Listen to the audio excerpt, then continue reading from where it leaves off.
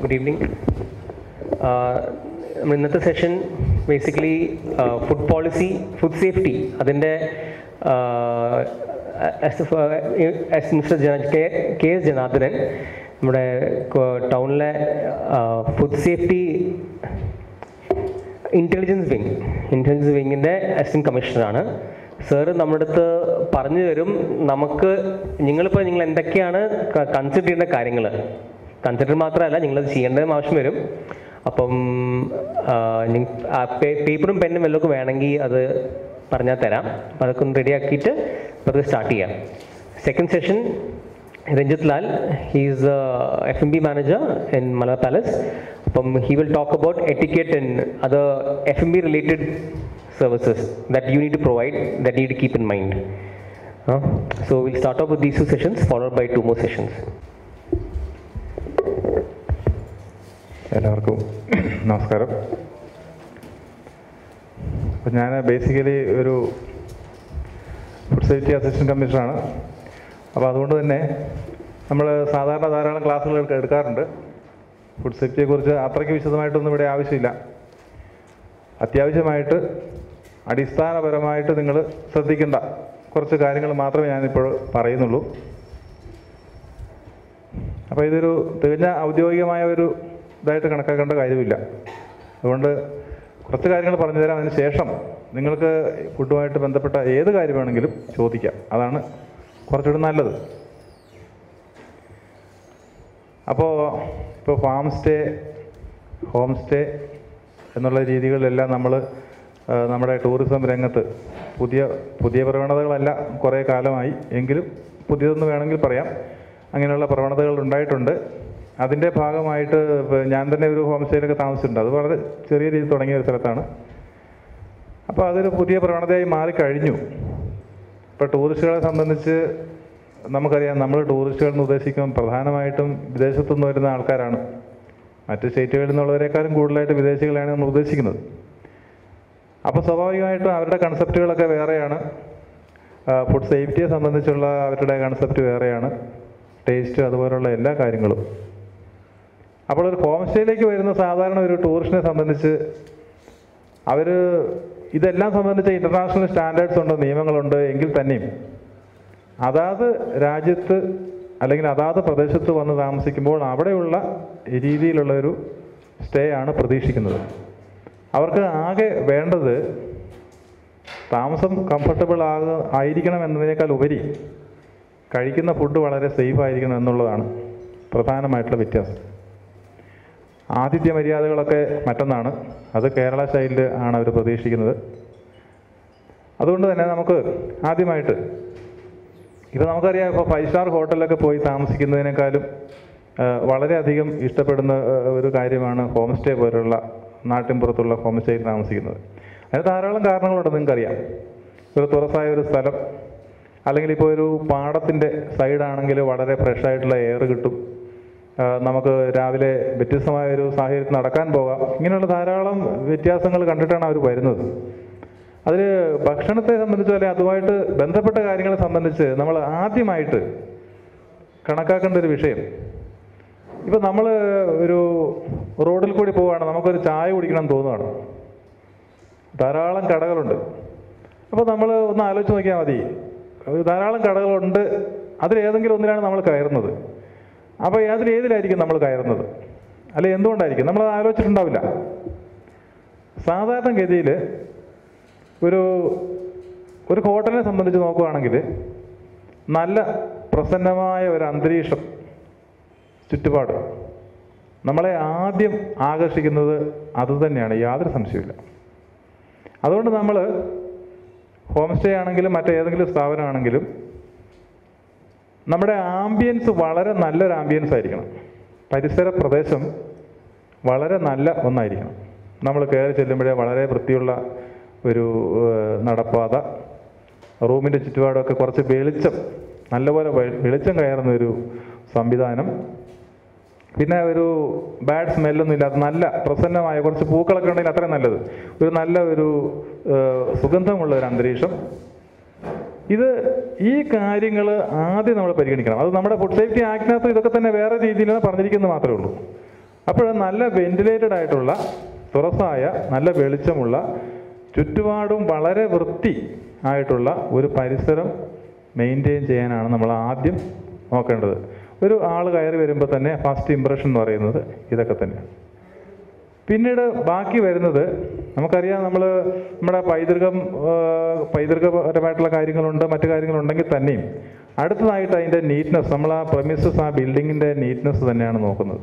ഇപ്പോൾ നമ്മളൊരു വീട്ടിലേക്ക് കയറി വരികയാണെങ്കിലും ഹോട്ടലിലേക്ക് കയറി വരുവാണെങ്കിലും വളരെ സിമ്പിളായിട്ടുള്ള എന്നാൽ നല്ല വെളിച്ചമുള്ള നല്ലൊരു പൂമുഖം എൻട്രൻസ് അത് രണ്ടാമത്തെ ഒരു റിക്വയർമെന്റ് ആയിട്ടാണ് എനിക്ക് തോന്നിയത്. അത് ഹോട്ടലിന്റെ അല്ല എല്ലായിടത്തും. ഏത് വലിയ റിസോർട്ടൊക്കെ ഇപ്പോൾ നമ്മൾ റിസോർട്ടുകളെല്ലാം നമ്മുടെ സാധാരണ ഹോട്ടൽ പോലെ അല്ലല്ലോ. റിസോർട്ടുകളെല്ലാം നമ്മൾ ഈ പറഞ്ഞ പോലെയുള്ള പരമ്പരാഗതമായ ശൈലിയിലുള്ള സംവിധാനങ്ങളുള്ള കെട്ടിടങ്ങളാണ്. അവിടെയെല്ലാം നമ്മളിപ്പോൾ വയനാടുണ്ട് കാസർഗോഡ് എല്ലായിടത്തും ഉണ്ട്. അത് പുതിയ രീതിയിൽ ഇതേ രീതിയിൽ തന്നെയാണ്. ഈ റിസോർട്ടിന്റെ ഒരു ചെറിയ മോഡലാണ് ഒരു ഹോം സ്റ്റേ എന്ന് വേണമെങ്കിൽ പറയാം.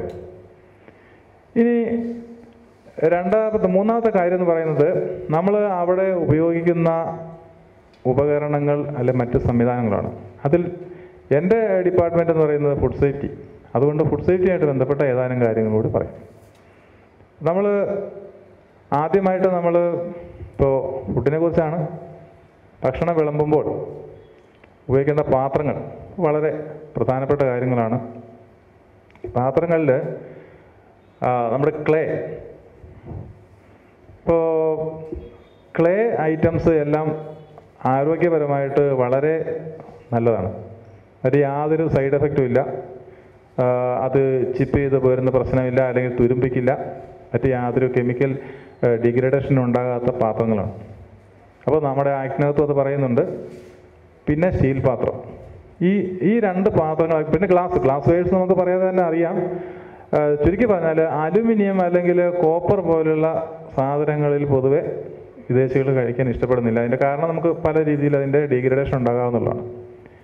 അതുപോലെ തന്നെ ഇപ്പം തൈര് അതുപോലുള്ള മറ്റ് അസിഡിറ്റി ഉള്ള ഏത് ഭക്ഷണ സാധനവും അത് തീർച്ചയായിട്ടും ഈ പറഞ്ഞ പാത്രങ്ങളിൽ മാത്രമേ എടുക്കാൻ പാടുള്ളൂ. ഇപ്പോൾ അലുമിനിയം പാത്രത്തിൽ എടുത്തു കഴിഞ്ഞാൽ പ്രശ്നമാണ്. പ്ലാസ്റ്റിക് ഈവൻ ഫുഡ് ഗ്രേഡ് ആണെന്ന് പറയുന്ന പാത്രത്തിൽ പോലും ഈ വക സാധനങ്ങൾ ഇപ്പോൾ നമുക്ക് ഉദാഹരണം ഇപ്പോൾ അച്ചാർ പിക്കിൾസ് നമുക്ക് എടുക്കാൻ പാടില്ല തൈര് എടുക്കാൻ പാടില്ല. അതിനെ ബേസ് ചെയ്തിട്ടുള്ള യാതൊരു ഫുഡും എടുക്കാൻ പാടില്ല. പിന്നെ ജനറലായിട്ട് പറയുകയാണെങ്കിൽ ഭക്ഷണ സാധനങ്ങൾ കുക്ക് ചെയ്യുന്ന ഓയിൽ ഇപ്പോൾ പാത്രത്തിന് ഏറ്റവും പ്രധാനപ്പെട്ടതായിട്ട് പറഞ്ഞതിന്റെ കാരണം ഇപ്പോഴത്തെ കാലത്ത് നമ്മൾ വിചാരിക്കുന്ന രീതിയിലല്ല ഫുഡ് സേഫ്റ്റി എന്ന് പറയുന്ന ഒരു കാര്യം വരുന്നത്. ഇപ്പം നമ്മുടെയൊക്കെ അടിസ്ഥാനപരമായിട്ട് നമ്മുടെ മനസ്സിലുള്ളത് കുറച്ച് ചെളി കുറച്ച് വെള്ളം വീണ് കിടക്കുന്നു കുറച്ച് പഴയ ഫുഡ് ഇതൊക്കെയാണ് ഏറ്റവും വലിയ പ്രശ്നം എന്ന് നമ്മൾ വിചാരിച്ചു. ഫുഡ് സേഫ്റ്റി ഒരിക്കലും ഫുഡ് സേഫ്റ്റിയെ സംബന്ധിച്ച് ഇപ്പോൾ പറഞ്ഞ കാര്യങ്ങൾ ഒരു മൂന്നാം നിലയിലേക്കേ വരുന്നുള്ളൂ. കാരണം ഫുഡിന്റെ സേഫ്റ്റിയെ ബാധിക്കുന്നത് മറ്റൊരു രീതിയിലാണ്. പാത്രങ്ങൾ ഫുഡ് പ്രോസസ്സ് ചെയ്യുന്ന രീതി അതിനകത്ത് നമ്മൾ ചേർക്കുന്ന സാധനങ്ങളുടെ നേച്ചർ ഇതൊക്കെ നോക്കിയിട്ടാണ് ഫുഡ് അൺസേഫ് ആകുന്നത് അപ്പോൾ വിദേശികളെ സംബന്ധിച്ച് അവർ ഇത് ഭയങ്കരമായിട്ട് നോക്കും. അല്ലെങ്കിൽ മറ്റ് സ്റ്റേറ്റിലുള്ളവരെ ഇങ്ങനെ കണക്ക് കൂട്ടിക്കും. പക്ഷേ വിദേശികൾ തീർച്ചയായിട്ടും ഇങ്ങനെയുള്ള കാര്യങ്ങളാണ് നോക്കുന്നത്. വൃത്തി കഴിഞ്ഞാൽ ബാക്കിയുള്ളത് നമ്മൾ ഇതെങ്ങനെയാണ് എന്ത് രീതിയിലാണ് ഇത് ഹാൻഡിൽ ചെയ്യുന്നതെന്നാണ് നോക്കുന്നത്. അപ്പോൾ നമ്മൾ പാത്രത്തിന്റെ കാര്യം പറഞ്ഞു ഈ ഭക്ഷണത്തിന്റെ കാര്യം പറഞ്ഞു. എണ്ണയെ സംബന്ധിച്ച് നമ്മൾ അത് നിങ്ങളുടെ ഓപ്ഷനാണ് എണ്ണ നിങ്ങളുടെ ഓപ്ഷൻ ആണെങ്കിലും ഒരു എണ്ണ നമ്മൾ റീയൂസ് ചെയ്യാതിരിക്കുക. നമ്മൾ എത്രയൊക്കെ പറഞ്ഞാലും നമ്മൾ കുക്ക് ചെയ്യുന്ന ഓയിൽ ഒരു രണ്ട് തവണ കൂടുതൽ ശരിക്കും നമ്മുടെ നിയമപ്രകാരം ഒരു തവണ ഉപയോഗിക്കാൻ പാടുള്ളൂ. അത് നമ്മൾ പ്രാക്ടിക്കൽ അല്ലാന്ന് വിചാരിക്കാം. കാരണം നമുക്ക് അത് വലിയ പ്രശ്നമൊന്നുമില്ല. രണ്ട് തവണയൊക്കെ ഉപയോഗിക്കാം. അതിന് ശേഷമുള്ള എണ്ണ നമ്മൾ ഡിസ്കാർഡ് ചെയ്യുക. കാരണം നമ്മൾ ഇപ്പോൾ ഞാൻ പറയാം നമ്മൾ വെളിച്ചെണ്ണയ്ക്കകത്ത് നമ്മൾ കുറച്ച് ചിപ്സ് ഉണ്ടാക്കി കഴിഞ്ഞാൽ ആദ്യം വറുക്കുന്നതിന് നല്ല ടേസ്റ്റ് ഉണ്ടാവും. രണ്ടാമത് വറുക്കുമ്പോൾ കുറച്ച് ടേസ്റ്റ് കുറഞ്ഞു. പിന്നെ പിന്നെ വറുക്കുമ്പോൾ ഈ വെളിച്ചെണ്ണയുടെ തന്നെ യാതൊരു ഗുണങ്ങളും ആ ചിപ്സിനുണ്ടാവില്ല അതുപോലെ തന്നെയാണ് നമ്മൾ ഏത് ഭക്ഷണം ഉണ്ടാക്കിയാലും ഓയിൽ റീയൂസ് ചെയ്യാതിരിക്കുക റീയൂസ് മീൻസ് ഒരു രണ്ട് തവണ ഉപയോഗിക്കാം. അത് കൂടുതൽ ഉപയോഗിക്കാതിരിക്കുക. അപ്പോൾ അതിനനുസരിച്ച് ഭക്ഷണത്തിന്റെ സേഫ്റ്റി ഇല്ലാതെയാകും ടേസ്റ്റ് മാറും. ചിലപ്പോൾ ആർക്കും ഇഷ്ടപ്പെട്ടെന്ന് വരില്ല. ഏത് എണ്ണ ഉപയോഗിക്കണം എന്നുള്ളത് നിങ്ങളുടെ ചോയ്സ് അവിടെ വരുന്ന ഗസ്റ്റുകളുടെ ഇഷ്ടം നിങ്ങൾക്കറിയാം. അതനുസരിച്ച് ഏത് എണ്ണ വേണമെങ്കിലും ഉപയോഗിക്കാം. വെളിച്ചെണ്ണയ്ക്കകത്ത് കൊളസ്ട്രോൾ ആണെന്ന് പറഞ്ഞിട്ട് പലരും അത് ഉപയോഗിക്കാത്തവരുണ്ട്. എന്നാൽ പല വിദേശികളും വെളിച്ചെണ്ണ തന്നെ വേണമെന്ന് പറയുന്ന ഒരു രീതി നമുക്ക് കാണാം. അത് കാരണം എന്ന് വെച്ചാൽ നമ്മുടെ ലോകത്ത് ആകെ രണ്ട് എണ്ണ മാത്രമേ റിഫൈൻ ചെയ്യാതെ ഉപയോഗിക്കാനുള്ള അനുവാദമുള്ളൂ. അതിൽ ഒന്ന് വെളിച്ചെണ്ണയും ഒന്ന് നമ്മുടെ ഒലിവ് ഓയിലുമാണ്. ഈ രണ്ട് എണ്ണം മാത്രമേ റിഫൈൻ ചെയ്യാതെ നമുക്ക് കുക്കിങ്ങിന് ഉപയോഗിക്കാനുള്ള അനുവാദമുള്ളൂ. അപ്പോൾ അത്രയ്ക്ക് നല്ല എണ്ണയാണെന്ന് തന്നെയാണ് ഞാൻ പറയുന്നത്. കൊളസ്ട്രോളിനെ സംബന്ധിച്ചൊന്നും നിങ്ങൾ ആലോചിക്കുക വേണ്ട. കാരണം വെളിച്ചെണ്ണയ്ക്കകത്ത് കൊളസ്ട്രോൾ ഉണ്ടോ ഇല്ല എന്നുള്ളത് വെറും വിവാദപരമായിട്ടുള്ള ഒരു വിഷയമാണ്. വളരെ നല്ലതാണെന്ന് ഒരു അൻപത് ശതമാനം പേര് പറഞ്ഞാൽ അത് കൊളസ്ട്രോൾ ഉണ്ടാക്കാൻ കാരണമാകുന്നു എന്നൊരു അമ്പത് ശതമാനം മറ്റുള്ളവർ പറയും. ഇതിൽ യാതൊരു കാര്യമില്ല ഞങ്ങളുടെ അനുഭവത്തിൽ ഞങ്ങൾ പഠിച്ചിട്ട് ഞങ്ങൾ വള- വളരെയധികം റിസർച്ച് ഡാറ്റ നോക്കിയിട്ടും വെളിച്ചെണ്ണ ഉപയോഗിച്ചാൽ കൊളസ്ട്രോൾ കൂടും എന്ന് കണ്ടുപിടിക്കാനുള്ള യാതൊരു കാരണവും കാണുന്നില്ല. വെളിച്ചെണ്ണ അവരുടെ ഗസ്റ്റുകൾക്ക് വിട്ട് വിട്ടുകൊടുത്തേക്ക് മറ്റു കാര്യങ്ങളിൽ ഇപ്പോൾ ഈ അതുപോലെ തന്നെ കഴിയുമെങ്കിൽ ഇറച്ചി മീൻ അതുപോലുള്ള നോൺ വെജിറ്റേറിയൻ സാധനങ്ങളും വെജിറ്റേറിയൻ സാധനങ്ങളും അധികം കരിച്ച് കൊടുക്കാതിരിക്കുക. ഇപ്പം നമുക്ക് ക്യാൻസർ ഉണ്ടാക്കുന്ന നമുക്കറിയാം. ഈ ഏത് ഭക്ഷണ സാധനമാണെങ്കിലും പ്രത്യേകിച്ച് നോൺ വെജിറ്റേറിയൻ സാധനങ്ങൾ എത്രയധികം കരിയുന്നോ അതനുസരിച്ച് അത്രയും ക്യാൻസർ എത്രയായിട്ട് മാറുകയാണ്. ഇപ്പം നമുക്കറിയാം ക്യാൻസർ നമുക്ക് ഇപ്പം ഒരു സാധാരണ ഒരു അസുഖം പോലെ ആയിക്കഴിഞ്ഞു ക്യാൻസർ ഒരു ഫുഡ് ഒരു ഫുഡ് സേഫ്റ്റിയിലുള്ള ഒരു ഉദ്യോഗസ്ഥ നിലയ്ക്കും വളരെയധികം അനുഭവ സമ്പത്തുള്ള ഒരാളെന്ന നിലയ്ക്ക് ഞാൻ പറയുകയാണ്. ഈ ക്യാൻസറിന്റെ പ്രധാന കാരണം നമ്മൾ കഴിക്കുന്ന ഭക്ഷണം തന്നെയാണ്. അതിന് കാരണം നമുക്കറിയാം ഒരു കുട്ടി ഇപ്പോൾ പഴയ കാലത്തെ ആളുകൾ അവരെ വിടുക. ഇപ്പോഴത്തെ ജനറേഷൻ എടുത്തു കഴിഞ്ഞാൽ ഒരു ആറ് മാസം ഏഴ് മാസം കഴിഞ്ഞാൽ മുതൽ നമ്മൾ കൊടുക്കുന്ന ഭക്ഷണം എന്തൊക്കെയാണ്? നമ്മുടെ വീട്ടിൽ ഉണ്ടാക്കുന്ന ചേമ്പ് ചേന കജിന്ന് ആർക്കും വേണ്ട. ആരും കഴിക്കില്ല. അപ്പം നമ്മൾ എന്ത് ചെയ്യും? നമ്മൾ ബ്രെഡ് മേടിക്കും. ബ്രെഡിനകത്ത് ഒരു എട്ടോ പത്തോ കെമിക്കൽസ് പെർമിറ്റഡാണ് ചേർത്തിട്ടുണ്ട്. ഈ ബ്രെഡിന്റെ കൂടെ നമ്മൾ കുട്ടികൾക്ക് എന്താ മധുരമാണ് ഇഷ്ടം. ശരി ജാം മേടിച്ചു കൊടുത്തു. ജാമിൽ എത്ര കെമിക്കൽസ് ഉണ്ട്? മുഴുവൻ കെമിക്കൽസാണ് സോസിനകത്ത് മുഴുവൻ കെമിക്കൽസാണ് എല്ലാ സാധനത്തിനകത്തും കെമിക്കൽസാണ് അതിന്റെ കൂടെ നമ്മൾ ഈ പ്രോസസ്സിങ് മെത്തേഡ് നമ്മൾ ഓരോ ഭക്ഷണ സാധനം ഉണ്ടാക്കുമ്പോൾ പ്രോസസ്സിങ് മെത്തേഡിന്റെ ഇടയ്ക്കും ഇത് ക്യാൻസറിന് കാരണമാകുന്ന ധാരാളം സാധനങ്ങൾ അതിനകത്ത് ഉണ്ടാകുന്നുണ്ട്. അപ്പോൾ അധികം കരിച്ച് പൊരിച്ച് കൊടുക്കാതെ കഴിയുന്നത്ര നല്ല രീതിയിൽ കൊടുക്കുക. ഞാനിപ്പോൾ ഫുഡ് സേഫ്റ്റിയെ ബാധിക്കുന്ന ഏറ്റവും പ്രധാനപ്പെട്ട കാര്യങ്ങൾ മാത്രമേ പറയുന്നുള്ളൂ. കാരണം ഒരു ക്ലാസ് എന്ന നിലയ്ക്ക് എടുത്തു കഴിഞ്ഞാൽ വളരെയധികം കാര്യങ്ങൾ പറയാനുണ്ട്. ഇപ്പോൾ ഏറ്റവും എനിക്ക് പ്രധാനമെന്ന് തോന്നിയ മൂന്ന് കാര്യങ്ങൾ ഇത്രയേ ഉള്ളൂ. നിങ്ങൾ ശ്രദ്ധിക്കേണ്ട കാര്യങ്ങൾ എന്ന് പറഞ്ഞാൽ ഇത്രയേ ഉള്ളൂ. പിന്നെ നിങ്ങളൊരു ഹോം സ്റ്റേ എന്ന രീതിയിൽ ഒരു ഫുഡ് സെർവ് ചെയ്യുന്നുണ്ട് ഫുഡ് കൊടുക്കുന്നുണ്ട് എന്നുള്ള കാര്യം കണക്കിലെടുത്താൽ നിങ്ങൾക്ക് ഫുഡ് സേഫ്റ്റിയുടെ ഒരു ലൈസൻസ് എടുക്കേണ്ടി വരും. അത് നിങ്ങൾ ആദ്യം തന്നെ ചെയ്യണം. അതില്ലാതെ നമുക്ക് പ്രവർത്തിക്കാൻ കഴിയില്ല. അപ്പോൾ ലൈസൻസ് എടുക്കുക എന്ന് പറയുമ്പോൾ നമ്മൾ വളരെ ചെറിയ തോതിൽ ഫുഡ് കൊടുക്കുന്നുള്ളൂ എന്നുണ്ടെങ്കിൽ അതിന് നമുക്കൊരു രജിസ്ട്രേഷൻ ഫുഡ് സേഫ്റ്റിയുടെ ഒരു രജിസ്ട്രേഷൻ എടുത്താൽ മതി. രജിസ്ട്രേഷൻ എന്ന് പറയുമ്പോൾ ഒരു നൂറ് രൂപ ഒരു വർഷത്തേക്ക് ആകുന്നുള്ളൂ. ഇനി അതല്ല നമുക്ക് കുറച്ചുകൂടി ഒരു മാന്യമായ രീതിയിൽ ഒരു ലൈസൻസ് നിന്ന് തന്നെ പറയണമെന്നുണ്ടെങ്കിൽ രണ്ടായിരം രൂപയാണ് ഒരു വർഷത്തേക്ക്. അത് നമ്മൾ ഇപ്പോൾ ഇവിടെ കോഴിക്കോട്ടെ സംബന്ധിച്ച് അല്ലെങ്കിൽ ഏത് ജില്ലയിലാണെങ്കിലും അവിടുത്തെ ജില്ലാ അസിസ്റ്റന്റ് കമ്മീഷണറാണ് ഫുഡ് സേഫ്റ്റിയുടെ ലൈസൻസ് തരുന്നത്. അതിന്റെ ആപ്ലിക്കേഷൻ നമ്മൾ ഓൺലൈനായിട്ടാണ് ചെയ്യുന്നത്. ഓൺലൈനായിട്ടാണ് നമ്മൾ അതിന്റെ ആപ്ലിക്കേഷൻ കൊടുക്കുന്നത്. അപ്പോൾ ആദ്യം നിങ്ങൾ തുടങ്ങുന്നതിന് മുൻപ് ലൈസൻസ് അല്ലെങ്കിൽ രജിസ്ട്രേഷൻ ഏതാണ് വേണ്ടതെന്നുള്ളത് നിങ്ങൾക്ക് അറിയാം. ഇപ്പോൾ വളരെയധികം ഗസ്റ്റൊക്കെ വന്ന് തുടങ്ങി ഫുഡൊക്കെ കുറേ അധികം കൊടുക്കാൻ തുടങ്ങിയാൽ മാത്രം ഈ രണ്ടായിരം രൂപയുടെ ലൈസൻസ് എടുത്താൽ മതിയാവും. സ്റ്റാർട്ടിങ്ങിൽ നിങ്ങൾക്ക് നൂറ് രൂപയുടെ എടുത്താൽ മതി. ഇനി അതല്ല ശരിക്കും നമുക്ക് ലൈസൻസ് തന്നെ എടുത്തേക്കാൻ സന്തോഷം. നല്ല കാര്യം. ലൈസൻസ് തന്നെ ആയിക്കോട്ടെ രണ്ടായിരം രൂപ. നമ്മളിപ്പോൾ ഒരു കാര്യമായിട്ട് നമുക്ക് ഇതൊരു മുമ്പോട്ട് കൊണ്ടുപോകാൻ കഴിയുമെന്ന് തോന്നലുണ്ടാകുകയാണെങ്കിൽ കുറച്ച് വളർന്ന് വലുതാവും നല്ല ബിസിനസ് കൂടും എന്ന് തോന്നിക്കഴിഞ്ഞാൽ അപ്പോൾ പിന്നെ മാറ്റാൻ പോകണ്ട. നിങ്ങൾ ലൈസൻസ് തന്നെ എടുക്കുക. ബേസിക് ആയിട്ട് ലൈസൻസ് എടുത്തതിന് ശേഷം തുടങ്ങുക. പിന്നീട് നിങ്ങൾ ചെയ്യേണ്ടത് നിങ്ങൾക്ക് ഫുഡിനെ സംബന്ധിച്ച് എന്തെങ്കിലും സംശയം ഉണ്ടെങ്കിൽ നിങ്ങൾക്ക് ലൈസൻസ് തരുന്ന ഉദ്യോഗസ്ഥന്റെ അടുത്ത് ചെന്ന് ഒരു കുഴപ്പവും കൂടാതെ ചോദിക്കാൻ ഏത് കാര്യം വേണമെങ്കിലും പറഞ്ഞു തരും. കാരണം ഇപ്പോൾ ഇവിടെ നമുക്കിപ്പോൾ ഇനി ഞാൻ ഇത്രയും ചെറുതാക്കിയിട്ട് നിങ്ങളുടെ സംശയത്തിന് ഉത്തരം പറയാൻ കാരണം വെച്ചാൽ അത്രയേ ഉള്ളൂ. കാരണം നിങ്ങളോട് പറയുന്നെങ്കിൽ നിങ്ങൾ ശരിക്കും ഹോട്ടലോ മറ്റ് ഒരു വ്യവസായമോ അല്ലാത്തത് കൊണ്ടാണ് കൂടുതൽ കാര്യങ്ങൾ പറയാൻ ഞാൻ മെനക്കെടാത്തത്. കാരണം നമ്മൾ ആവശ്യമില്ലാത്ത കാര്യങ്ങൾ സംസാരിച്ചിട്ട് പ്രയോജനമില്ല. നേരത്തെ നിങ്ങൾക്ക് എന്ത് സംശയം വേണമെങ്കിലും ചോദിക്കാം. അപ്പോൾ ലൈസൻസ് രജിസ്ട്രേഷൻ എടുക്കുക എടുത്തതിന് ശേഷം നമ്മൾ പിന്നെ നല്ല വൃത്തിയുള്ള ഒരു സ്ഥലത്തായിരിക്കണം നമ്മുടെ ബിൽഡിങ് നല്ല വെളിച്ചമുള്ള സ്ഥലത്തായിരിക്കണം. യാതൊരു ദുർഗന്ധമൊന്നും പാടില്ല. നല്ല ക്ലീൻ ആയിട്ടുള്ള സ്ഥലമായിരിക്കണം. പിന്നെ ഇതിനകത്ത് ഇതിന്റെ ആംബിയൻസ് ഇതിന്റെ കെട്ടിടത്തിനകത്ത് ഒരു പ്രധാനപ്പെട്ട കാര്യം നിങ്ങൾ ശ്രദ്ധിക്കേണ്ടത് ലൈറ്റ് കളറാണ് നമുക്ക് ഏറ്റവും നല്ലത്. ഒരു ഒരു വെളിച്ച ഒരു ഐശ്വര്യം തോന്നണമെങ്കിൽ പെയിന്റ് ഒക്കെ പെയിന്റ് അതിൽ പാനലിങ് കഴിയുന്നത്ര ലൈറ്റ് ആക്കുക. ബാക്കിയുള്ള നമ്മുടെ എസ്തെറ്റിക് സെൻസ് ആണ്. അതിനനുസരിച്ച് നല്ല ആർട്ടിസ്റ്റിക് ആയിട്ട് ചെയ്യാം. ആർട്ടിസ്റ്റിക് ആയിട്ട് ചെയ്യുമ്പോൾ തന്നെ നമ്മളൊരു പ്രിഫറൻസ് കൊടുക്കേണ്ടത് ഒരു ലൈറ്റ് കളറിനായിരിക്കും അതിന് അതുകൊണ്ട് ധാരാളം കാര്യമുണ്ട്. ഒന്നും മുറിക്കകത്ത് നമ്മുടെ റൂമിനകത്ത് വെളിച്ചം. വെളിച്ചം വരണമെങ്കിൽ നമ്മൾ നല്ല ഇപ്പോൾ ഈ പച്ച അല്ലെങ്കിൽ കാവി ഈ കളറൊക്കെ ലൈറ്റിനെ കംപ്ലീറ്റ് അബ്സോർവ് ചെയ്യുന്ന തരം കളറുകളാണ്. ഒരു പച്ച സംബന്ധിച്ച് യാതൊരു കാരണവശാലും നിങ്ങൾ ആ പച്ചയുടെ ഷെയ്ഡ് പോലും നമ്മുടെ ഇതിനകത്ത് കാണാൻ പാടില്ല. അത് വന്നിട്ടുണ്ടെങ്കിൽ വെളിച്ചമില്ല അത് വളരെ ഡള്ളായിട്ട് തോന്നും. യാതൊരു അട്രാക്ഷൻ ഉണ്ടാവില്ല. ഇപ്പം എല്ലാം ലൈറ്റ് കളേർഡ് നമ്മൾ ബാത്റൂമിനകത്താണെങ്കിൽ അതുപോലെ തന്നെ കഴിയുന്നത്ര ആ കോമ്പിനേഷന്റെ അകത്ത് കഴിയുന്നത്ര ലൈറ്റായിട്ടുള്ള കളറുള്ള ടൈൽസ് പാനലിംഗ് എല്ലാം ശ്രദ്ധിച്ച് ചെയ്യുക. പിന്നെ നമ്മുടെ കുക്കിംഗ് വെസൽസൊക്കെ നമ്മൾ ഈ പറഞ്ഞതുപോലെ യാതൊരു കുഴപ്പമില്ലാത്ത വളരെ നല്ല സാധനമായിരിക്കണം. കാണാൻ ഭംഗിയുള്ളതൊക്കെ ആയിക്കോട്ടെ. അത് വേറൊരു കാര്യം. ഫുഡിന് സേഫ് ആയിരിക്കണം. ഞാൻ നേരത്തെ പറഞ്ഞ പോലെ ഗ്ലാസ് വെയേഴ്സ് പിന്നെ ഇനാമിൽഡ് പോട്ടറി ആ ടൈപ്പ് സാധനങ്ങൾ മാത്രം ഉപയോഗിക്കുക. അലുമിനിയം അതുപോലെ തന്നെ പിത്തള ചെമ്പ് ഒന്നും അത് നമുക്ക് അലങ്കാരത്തിന് വേണ്ടിയിട്ട് എടുക്കാവുന്നതല്ലാതെ മറ്റൊന്നും ചെയ്യാൻ പാടില്ല. പിന്നെ നമ്മൾ ഹോം സ്റ്റേ ആയതുകൊണ്ട് നമ്മൾ ഹോട്ടലുകാർ ചെയ്യുന്നത് പോലെ കൂടുതൽ സാധനങ്ങളൊന്നും വാങ്ങി സ്റ്റോക്ക് ചെയ്യേണ്ട ആവശ്യമില്ല. അങ്ങനെയൊക്കെ ഉണ്ടെങ്കിൽ മാത്രമേ ഒത്തിരി കാര്യങ്ങൾ വേറെ വരുന്നുള്ളൂ. പിന്നെ നമ്മൾ സാധാരണ പിന്നെ ഉള്ള ഒരു കാര്യം നമ്മൾ എലി കയറാതെ അതൊക്കെ നമുക്ക് അറിയാവുന്ന കാര്യമാണ്. എലി കയറാതെ മറ്റ് പെസ്റ്റുകളൊന്നും കയറാത്ത രീതിയിൽ ഇപ്പോൾ ജനലിന്റെ മറ്റേ ഇതിനൊക്കെ ആണെങ്കിൽ അല്ലെ അടുക്കള അല്ലെങ്കിൽ ഡൈനിങ് ഡൈനിങ് ഹാളിൽ നമ്മൾ ശ്രദ്ധിക്കേണ്ട ഏറ്റവും പ്രധാന കാര്യം നമ്മുടെ ഈ ഫാൻ ഒക്കെ എ സി ആയിരിക്കാം ഫാൻ ഉണ്ടായിരിക്കാം.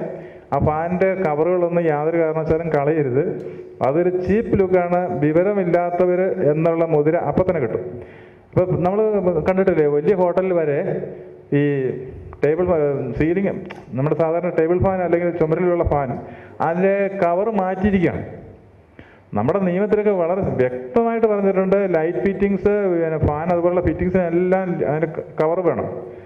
നമ്മൾ അങ്ങനെ അത് മാറ്റിയിട്ട് ഒരാൾ കണ്ടിട്ടുണ്ടെങ്കിൽ നമുക്ക് വിവരമില്ല എന്നും കൂടെ അവർ പറയും എന്നുള്ള യാതൊരു സംശയമില്ല കാരണം വിവരമില്ലാത്തേ ചെയ്യുള്ളൂ. അപ്പം അങ്ങനെ ഒന്നും നിങ്ങൾ ചെയ്തേക്കരുത്. നമ്മൾ ആ നിയമപരമായിട്ടുള്ള നല്ല രീതിയിൽ തന്നെയുള്ള ഫിറ്റിങ്സ് എല്ലാ ലൈറ്റ് ഫിറ്റിങ്സ് എല്ലാം അതുപോലെ തന്നെ കവറോട് കൂടി വേണം. ഫാനാണെങ്കിൽ അതുപോലെ തന്നെ കവറോട് കൂടി വേണം. സൈലന്റ് ആയിട്ടുള്ള ടൈപ്പ് ഫാനൊക്കെ ഉപയോഗിക്കാം.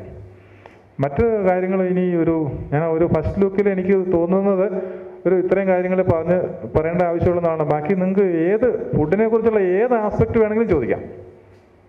അതാണ് കൂടുതൽ ഞാൻ ഇഷ്ടപ്പെടുന്നത്. കാരണം നിങ്ങൾക്കും പ്രയോജനകരമായിട്ടുള്ള അതായിരിക്കും. മറ്റത് ധാരാളം കാര്യങ്ങളുണ്ട് സ്ലൈഡ്സ് ഒക്കെ വെച്ച് അതിന്റെ ഒന്നും ആവശ്യമില്ല.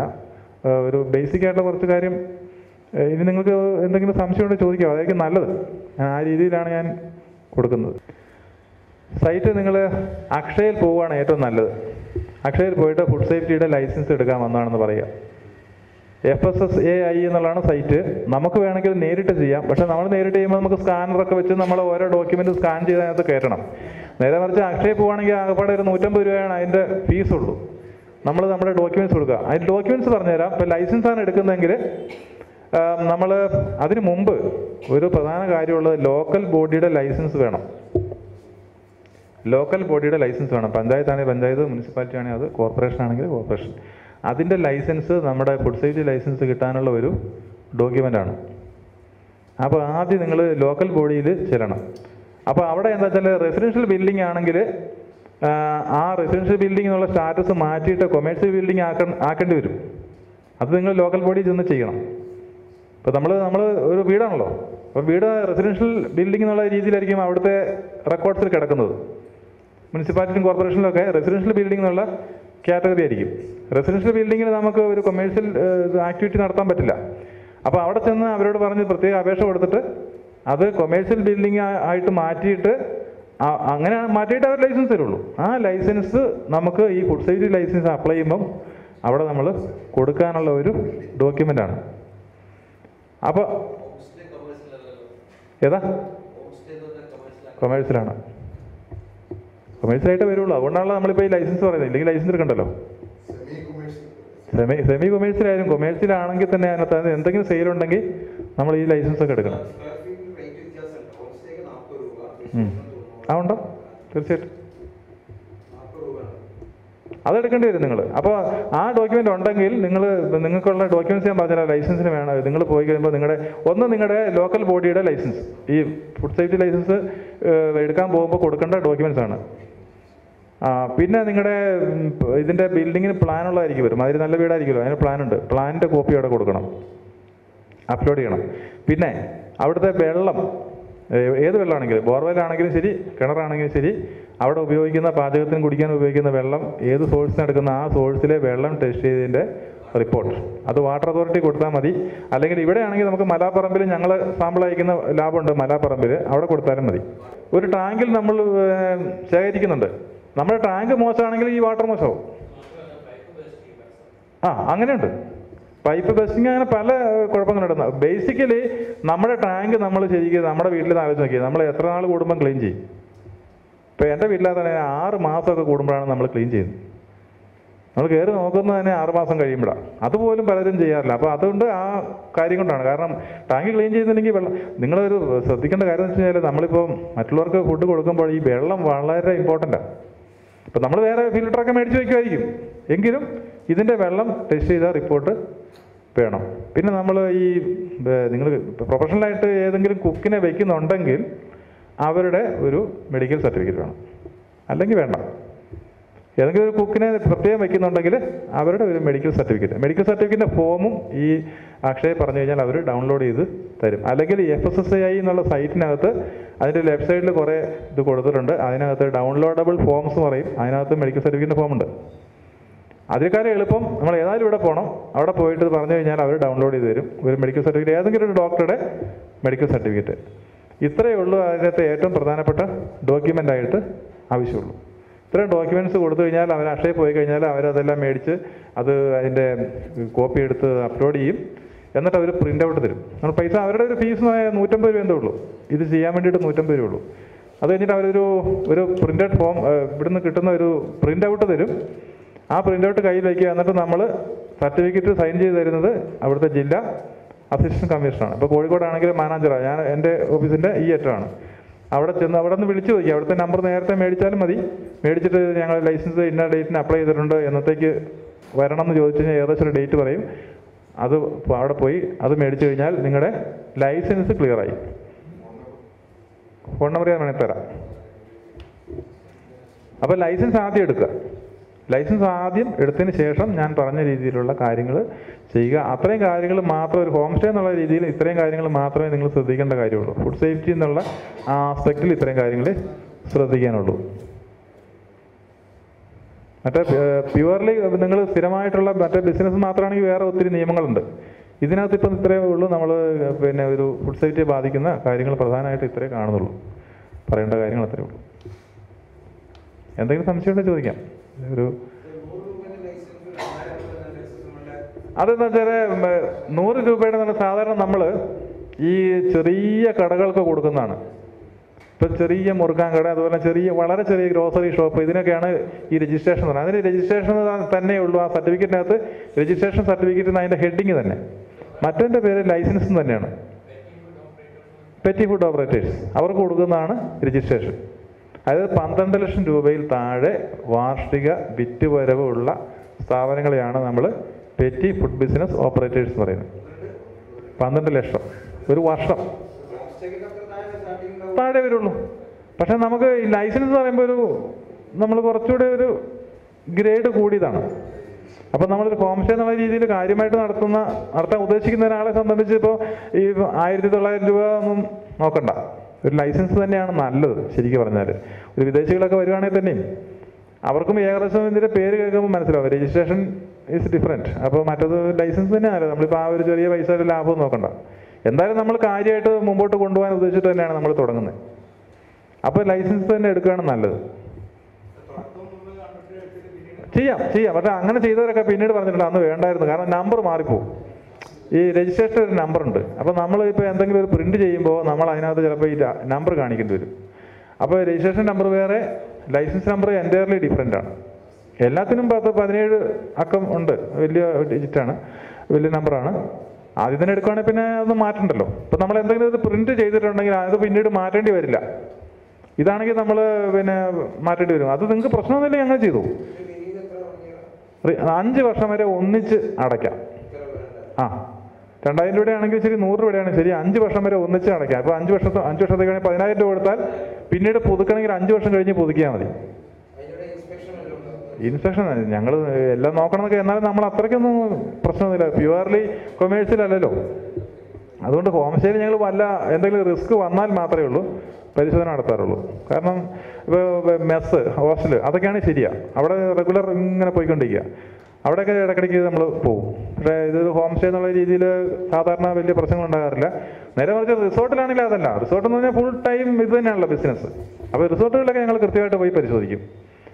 ഇത് ഹോം സ്റ്റേ ബേസിലുള്ള അതിലൊന്നും അധികം നോക്കാറില്ല. പക്ഷേ ഞങ്ങളുടെ അനുഭവത്തിൽ ഹോം സ്റ്റേകളൊക്കെ ആദ്യം തുടങ്ങി നന്നായിട്ട് തുടങ്ങി കുറച്ച് കഴിയുമ്പോഴത്തേക്കും വളരെ മോശമാകാറുണ്ട്. അത് അങ്ങനെ ഗസ്റ്റുകൾ വരാതായിട്ടുണ്ട്. കാരണം അവർക്ക് നല്ല വൃത്തിയാണ് വേണ്ടത്. നല്ല വൃത്തിയായിട്ടുള്ള നല്ല ഒരു അന്തരീക്ഷമുള്ള ഒരു സ്ഥലം. ഫുഡ് തീർച്ചയായിട്ടും അവർ നോക്കും. എങ്കിലും ഞാൻ ഈ പറഞ്ഞ കാര്യങ്ങൾ നോക്കിയാൽ ഫുഡ് സേഫായി യാതൊരു പ്രശ്നമില്ല പിന്നെ ഉള്ളതെല്ലാം ആ ഗസ്റ്റിന്റെ അഭിരുചിക്ക് അനുസരിച്ചുള്ള ഫുഡാണ് നിങ്ങൾ കൊടുക്കുന്നത്. അതിൽ ഇത്രയും കാര്യങ്ങൾ നോക്കിയാൽ മാത്രം മതി. നമുക്ക് നമ്മൾ ഫുഡ് സേഫ്റ്റി സേഫ് ഫുഡ് കൊടുക്കുക എന്നുള്ളതാണ് നമ്മൾ നോക്കേണ്ട കാര്യം. പിന്നെ നമ്മൾ മറ്റു സാധനങ്ങൾ പഴക്കമുള്ളത് നിങ്ങൾ ഉപയോഗിക്കില്ല. ഞാൻ പറയേണ്ട കാര്യമില്ലല്ലോ. എന്തായാലും ഒരു ഹോം സ്റ്റേയിൽ നിന്ന് നമ്മൾ പഴയ സാധനങ്ങൾ ഉപയോഗിക്കുന്ന പ്രശ്നം ഒതുക്കുന്നില്ല നമ്മുടെ വീട്ടിൽ പോലും നമ്മൾ ചെയ്യുന്നില്ല. പിന്നെ ഇപ്പോൾ അതിനെപ്പറ്റി ഒന്നും പറഞ്ഞിട്ട് കാര്യമില്ല. കാരണം അവിടെയാണ് റിസ്ക് മുഴുവൻ വരുന്നത് പഴയ സാധനങ്ങൾ ഈ പാത്രങ്ങൾ എണ്ണ ഇതിങ്ങനെയുള്ള കാര്യത്തിൽ മാത്രമേ ഉള്ളൂ നമുക്ക് ഫുഡിന്റെ സേഫ്റ്റിയെ ബാധിക്കുന്ന ഒരു പ്രശ്നം ഉണ്ടാകുന്നുള്ളൂ ബാക്കിയുള്ളതൊക്കെ വലിയ കൊമേഴ്സ്യൽ ഇതിനകത്താണ്. അതിനകത്ത് കുറേ വേറെ പാരാമീറ്റേഴ്സ് കൊടുത്തിട്ടുണ്ട്. അത് നമുക്കിവിടെ ബാധകമല്ല. അത്രയ്ക്ക് നോക്കേണ്ട കാര്യമൊന്നുമില്ല. ഇത്രയും മാത്രമേ ഉള്ളൂ. നിങ്ങൾക്ക് എന്തെങ്കിലും ഉണ്ടെങ്കിൽ സംശയം ചോദിക്കാൻ ഞാനിവിടെ ഉണ്ട്.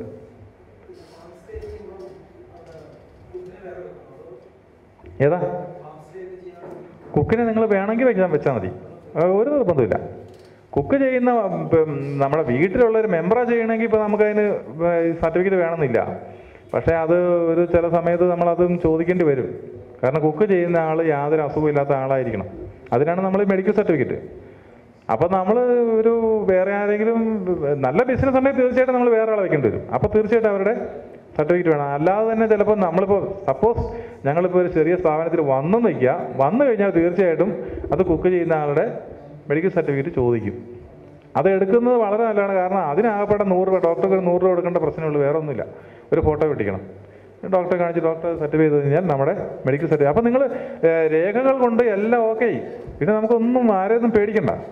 മറ്റേ നമ്മളിപ്പോൾ ഈ ചെറിയ കാര്യത്തിന് വേണ്ടിയിട്ട് ഒരു രേഖ ഇല്ലെങ്കിൽ നേരെ മറിച്ച് ഒരു രേഖ ഇല്ല എന്നുള്ള ഒരു കംപ്ലൈന്റ് കിട്ടിയാൽ മതി അത് അടയ്ക്കും.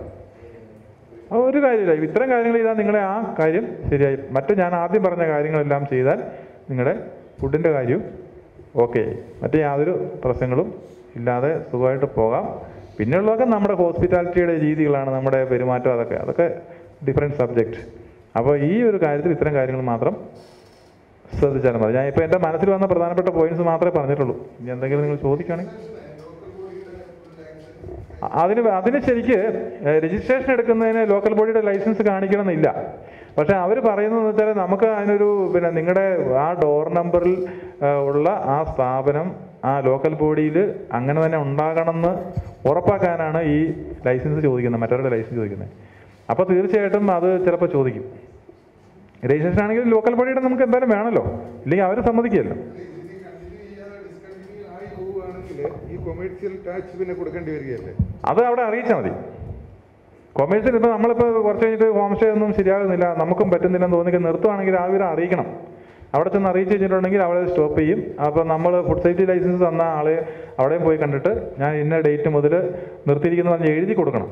ഇല്ലെന്നുണ്ടെങ്കിൽ വ്യാജ ആരോപണങ്ങൾ ഈ ഫീൽഡ് അത്ര ഒരു പിന്നെ നമ്മൾ വിചാരിക്കുന്ന പോലെ ഒരാൾ നമ്മളോട് വിരോധമുള്ള ഒരാളുണ്ടെങ്കിൽ നമ്മൾ കുടുങ്ങി. ഇപ്പോൾ നല്ല രീതിയിൽ ഒരു ഹോം സ്റ്റേ കൊണ്ടുപോയി കുറച്ച് കഴിയുമ്പോഴത്തേക്ക് നിങ്ങളോട് വിരോധമുള്ള ഒരാൾ തോന്നുവാണ്. "ഏയ് ഇവൻ ഇത് ശരിയാവില്ലോ ഇവിടെ ആ ഒന്ന് പാര വെച്ചേക്കാം എന്ന് പറഞ്ഞിട്ട് ചുമ്മാ ഒരു ഓൺലൈൻ ഒരു പരാതി. ഇഷ്ടംപോലെ കേസുകളുണ്ട് അതുകൊണ്ടാണ് പറഞ്ഞത്. വെറുതെ ഒരു ഓൺലൈൻ പരാതി വന്നു കഴിഞ്ഞാൽ പരാതി വന്നാലുള്ള കുഴപ്പം എന്താണ്? പരാതി വന്നാൽ ഇതിന്റെ നിയമങ്ങൾ അനുസരിച്ചുള്ള ആദ്യം മുതൽ എ ടു സെഡ് കാര്യങ്ങളുണ്ടോ എന്ന് ഞങ്ങൾ വന്ന് നോക്കേണ്ടി വരും. അപ്പോൾ പലതും കാണില്ല. അപ്പോൾ അതിന് നോട്ടീസ് കൊടുത്തു അതിന്റെ വെറുതെ അങ്ങനെയുള്ള കാര്യങ്ങളൊക്കെ ഉണ്ടാക്കുന്ന കുറേ ആളുകൾ ഇപ്പോൾ ഉണ്ട്.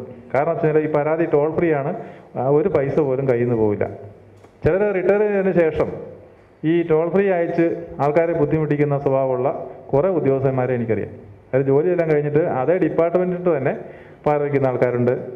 അല്ലാതെ അയൽവക്കാരുണ്ട് മറ്റേ അതേ ബിസിനസ് ചെയ്തിട്ട് കണിക്കടിയോ അല്ലെങ്കിൽ മറ്റു ബുദ്ധിമുട്ടുകളുള്ള പല ആൾക്കാരും ഈ പണി ചെയ്യുന്നവരുണ്ട്. എങ്ങനെ ചെയ്താലും പരാതി വന്നാൽ നോക്കാതിരിക്കാൻ പറ്റില്ല. അപ്പോൾ നമ്മൾ സിമ്പിൾ നമ്മൾ വളരെ സിമ്പിളായിട്ട് ട്രീറ്റ് ചെയ്യുക. നമ്മൾ നമ്മുടെ രേഖകളെല്ലാം കറക്റ്റാക്കി നമ്മൾ പോയി നമ്മൾ തുടങ്ങുന്നു. നമുക്ക് വേണ്ടേ? നമുക്ക് വേണ്ടത് എഴുതി കൊടുത്താൽ നമ്മുടെ തീർന്നു.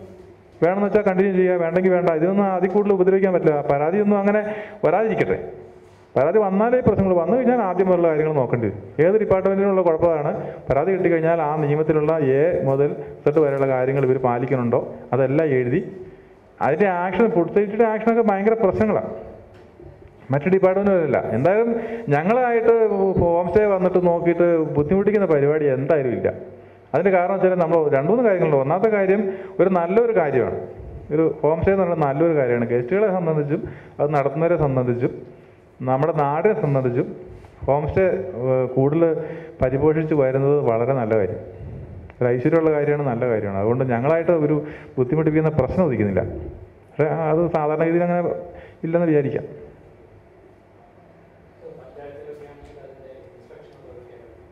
പഞ്ചായത്തിൽ ആ ഹെൽത്ത് ഇൻസ്പെക്ടറാണ് വന്ന് നോക്കുന്നത് ഹെൽത്ത് ഇൻസ്പെക്ടർ വന്ന് നോക്കി കഴിഞ്ഞാൽ പുള്ളി ഈ ഒരു സാനിറ്ററി സർട്ടിഫിക്കറ്റ് കൊടുക്കുക എന്നുള്ളത് മാത്രം ഒരു ജോലിയേ ഉള്ളൂ. പിന്നെ വെള്ളം ടെസ്റ്റ് ചെയ്ത് റിപ്പോർട്ട് ചോദിക്കാം. വെള്ളം ടെസ്റ്റ് ചെയ്ത് റിപ്പോർട്ട് ചോദിച്ചാൽ ഒരു കാരണവശാലും ഒറിജിനൽ കൊണ്ടുപോകാൻ സമ്മതിക്കരുത്. ഈ അധികാരമില്ലാത്ത ആൾക്കാർ വേണ്ടാത്ത കാര്യങ്ങളൊക്കെ ചെയ്യും. നിങ്ങൾ ടെസ്റ്റ് ചെയ്ത റിപ്പോർട്ട് നിങ്ങൾക്ക് അവകാശപ്പെട്ട സാധനമാണ്. വേണമെങ്കിൽ അതിന്റെ ഒരു കോപ്പി കൊടുക്കാം. ഇപ്പം ഞാനിപ്പോൾ ഇപ്പോൾ ഇത് പറയാൻ കാരണം ഞങ്ങൾ അനുഭവത്തിൽ നിന്ന് പറയുന്നത്. വലിയ ഹോട്ടലിലൊക്കെ സർട്ടിഫിക്കറ്റ് ഹെൽത്ത് ഇൻസ്പെക്ടർ മേടിച്ചുകൊണ്ട് പോവുക ആ ചോദിക്കാൻ പേടിയാ ആൾക്കാർക്ക്. എന്നിട്ട് ഞങ്ങൾ ചിലപ്പോൾ സാധനമില്ല ഞങ്ങളെ കാണിക്കണ്ടേ? ഞങ്ങളാണ് അതിന്റെ അതോറിറ്റി. ശരിക്കുള്ള അതോറിറ്റി ചെല്ലുമ്പോൾ ആ സാധനം അവിടെ ഇല്ല. അപ്പം നമുക്ക് ദേഷ്യം വരും. അപ്പം നമ്മൾ എന്തെങ്കിലും ചെയ്യും. അപ്പം അതിന്റെ ഒന്നും ആവശ്യമില്ല. നമ്മൾ അവരൊന്ന് അവർ ചെയ്യാവുന്നത് അവരൊന്ന് നോക്ക. ഒരു സാനിറ്ററി സർട്ടിഫിക്കറ്റ് പഞ്ചായത്ത് സെക്രട്ടറിക്കോ അല്ലെങ്കിൽ മുനിസിപ്പാലിറ്റിയുടെ ആ ഉദ്യോഗസ്ഥന് കൊടുത്താൽ ലൈസൻസ് കൊടുക്കാൻ പാടുള്ള ഒരു വ്യവസ്ഥ ഉണ്ട്. അതിനാണ് അവർ വരുന്നത്. ശുചിത്വം ഉണ്ടോ എന്ന് നോക്കുക. വേറെ ഒന്നുമില്ല അതിന്റെ കൂടെ വെള്ളം ടെസ്റ്റ് ചെയ്തുണ്ടോ എന്ന് ചോദിക്കും. വേണമെങ്കിൽ ഒരു കോപ്പി കൊടുത്തേക്കുക അതുകൊണ്ട് അതും കഴിഞ്ഞു. മറ്റു പ്രശ്നങ്ങളൊന്നുമില്ല. പിന്നീട് ബിൽഡിംഗ് സംബന്ധിച്ച പ്രശ്നങ്ങളാണ്. നമ്മൾ വീട്ടിൽ അങ്ങനത്തെ പ്രശ്നങ്ങളൊന്നും ഉണ്ടാവില്ല അപ്പോൾ എല്ലാം ലൈൻ ക്ലിയർ ആവുന്നു. ഭംഗിയായിട്ട് നടന്നു. എല്ലാവർക്കും നല്ലത് വരട്ടെ എന്ന് പറയുകയാണ്. കാരണം വെച്ചാൽ നല്ല രീതിയിൽ അല്ല ഞാൻ നിർത്തുക ഇവിടെ ഉണ്ട് സംശയമുണ്ട് ചോദിച്ചു ആ ക്യാമ്പിൽ പോയി നിങ്ങൾ അപ്ലൈ ചെയ്താലും ഇതേ സ്റ്റാറ്റസ് ആണ്. ക്യാമ്പിൽ പോയിട്ട് അപ്ലൈ ചെയ്താലും ഇതേ സ്റ്റാറ്റസ് നമ്മൾ ഇവിടുന്ന് ചെയ്യുന്ന അതേ പ്രിഫറൻസേ കിട്ടുള്ളൂ. ആദ്യം വരുന്നവർക്ക് ആദ്യം കൊടുക്കുക എന്നുള്ളതാണ്. ക്യാമ്പിൽ നിന്ന് മേടിച്ച് വെച്ചിട്ട് രജിസ്റ്റർ ചെയ്തില്ലേ?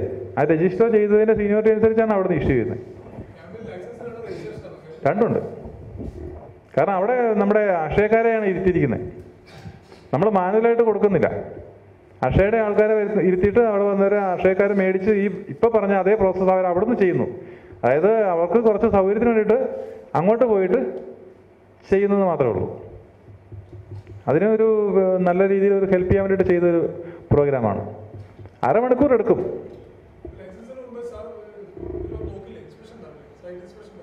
ഞങ്ങൾ ഹോം സ്റ്റേ പൊതുവെ അതൊക്കെ നല്ലതായിരിക്കും എന്നുള്ള വിശ്വാസത്തിൽ അങ്ങോട്ട് വിടാറുണ്ട്. പക്ഷെ ലൈസൻസ് ആ. അങ്ങനെയൊന്നും ഞങ്ങൾ എന്തായാലും ബുദ്ധിമുട്ടിക്കുന്നില്ല. യാതൊരു സംശയമില്ല കംപ്ലൈന്റ് വന്നു പറഞ്ഞാൽ കംപ്ലൈന്റ് ചുമ്മാ ഒരാളൊരു കംപ്ലൈന്റ് വന്നു ഞങ്ങൾ ചെന്ന ഉടനെ ആഹാ എന്നാൽ ശരിയാക്കി അങ്ങനെയൊന്നുമല്ല ഞങ്ങൾ പോകുന്നത്. ഞങ്ങൾ എന്തെങ്കിലും ചെയ്യണമെന്നുണ്ടെങ്കിൽ അതിന് കാരണം വേണം. അല്ലാതെ ഇപ്പോൾ ഹെൽത്ത് ഇൻസ്പെക്ടർമാർ ചെയ്യുന്ന പോലെയുള്ള പണികളൊന്നും ഞങ്ങൾ ചെയ്യില്ല. അതിന് നമ്മളതൊന്നും കിട്ടില്ല കാര്യത്തിനൊന്നും. ഒരു ഒരു പരാതി വന്നാൽ നമ്മൾ പോയി നോക്കും. നോക്കിയിട്ട് കാര്യമുണ്ടെങ്കിൽ മാത്രമേ ഉള്ളൂ ആക്ഷൻ എടുക്കുള്ളൂ. അല്ലാതെ ഒരു സാധനം എന്തെങ്കിലും കണ്ട് ഉടനെ തട്ടിമറിച്ച് കളയുക വലിച്ചെറിയുക അതൊക്കെ ഹെൽത്ത് ഇൻസ്പെക്ടറുടെ പണിയാണ് നമ്മളതൊന്നും അങ്ങനെ ഡിപ്പാർട്ട്മെന്റ് അല്ല. അവരോരോന്നൊക്കെ ചെയ്യും ദോശ എടുത്ത് കളയും. ഇതൊക്കെ അവരുടെ ചുമ്മാ ഒരു കലാപരിപാടി. ഫുഡ് സേഫ്റ്റി ഡിപ്പാർട്ട്മെന്റിനെ സംബന്ധിച്ച് അതിന് ഫുഡ് സേഫ്റ്റി എന്നുള്ള ആസ്പെക്ട് മാത്രം നോക്കിയിട്ട് അത് ഉണ്ടെങ്കിൽ ഞങ്ങൾ എന്തെങ്കിലും ചെയ്യുകയും ചെയ്യും. അത് യാതൊരു സംശയമില്ല പക്ഷേ ഇതിനകത്തൊന്നും അങ്ങനെയുള്ള ഒരു സ്കോപ്പില്ല നിങ്ങൾ ആകെപ്പാടെ കുറച്ച് സാധനങ്ങൾ പിന്നെ കുറച്ച് ഗസ്റ്റ് വരുന്നു അവർക്കുള്ള ഫുഡ് കൊടുക്കുന്നു. ആ ഒരു ഒറ്റ കാര്യം മാത്രമേ ഉള്ളൂ. അതിനകത്ത് നിങ്ങൾ എന്തായാലും ശ്രദ്ധിച്ച് ചെയ്യണമെന്നുള്ള യാതൊരു സംശയമില്ല കൂടുതലായിട്ട് ബൾക്കായിട്ടൊന്നും സ്റ്റോർ ചെയ്യുന്നില്ല. രണ്ടായിരം പേർക്കുള്ള ഫുഡൊന്നും ഉണ്ടാക്കുന്നുമില്ല. അതുകൊണ്ട് തന്നെ വളരെ നീറ്റായിരിക്കും ഉള്ളത്. ക്വാണ്ടിറ്റി കൂടുമ്പോഴാണ് പ്രശ്നം ആ ഇവിടെ നമ്മൾ ഒന്നുകൂടെ ഗസ്റ്റിന്റെ താല്പര്യം ഒന്നുകൂടെ നോക്കും. അപ്പോൾ നമ്മൾ ഒന്നുകൂടി ശ്രദ്ധിക്കണം. ആ ശ്രദ്ധിക്കേണ്ട കാര്യങ്ങൾ എന്തൊക്കെയാണെന്നാണ് ഞാൻ നേരത്തെ പറഞ്ഞത്. അത്രേ ഉള്ളൂ. മറ്റ്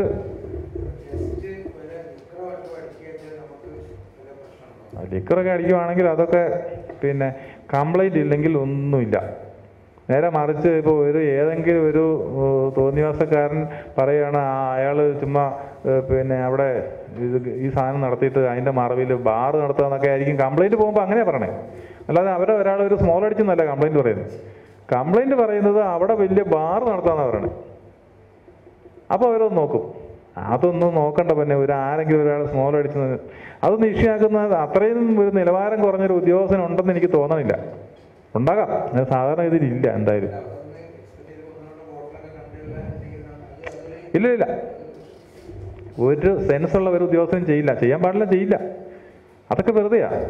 പിന്നെ ഞാൻ പറഞ്ഞ നേരത്തെ പറഞ്ഞ പോലെ അത്രയ്ക്ക് വിരോധമുള്ളതും ചെയ്തു കഴിഞ്ഞാൽ തന്നെയും നമ്മൾ പോകുമ്പോൾ അതിനും കാണണ്ടേ?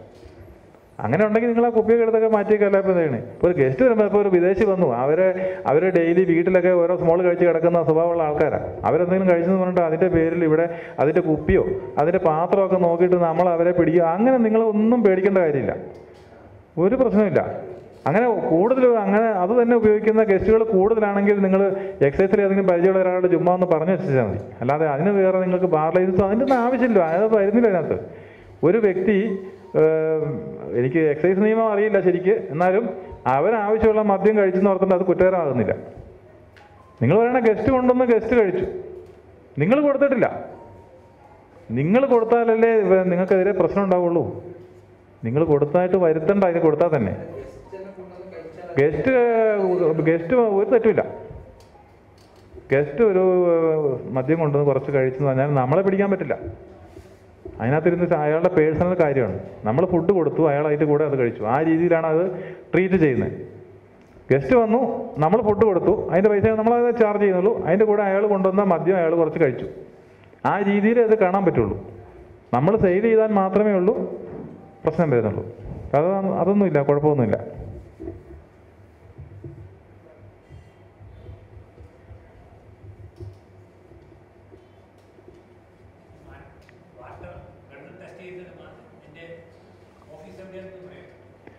ഇവിടെ ഒന്ന് വാട്ടർ അതോറിറ്റി കൊടുക്കാം.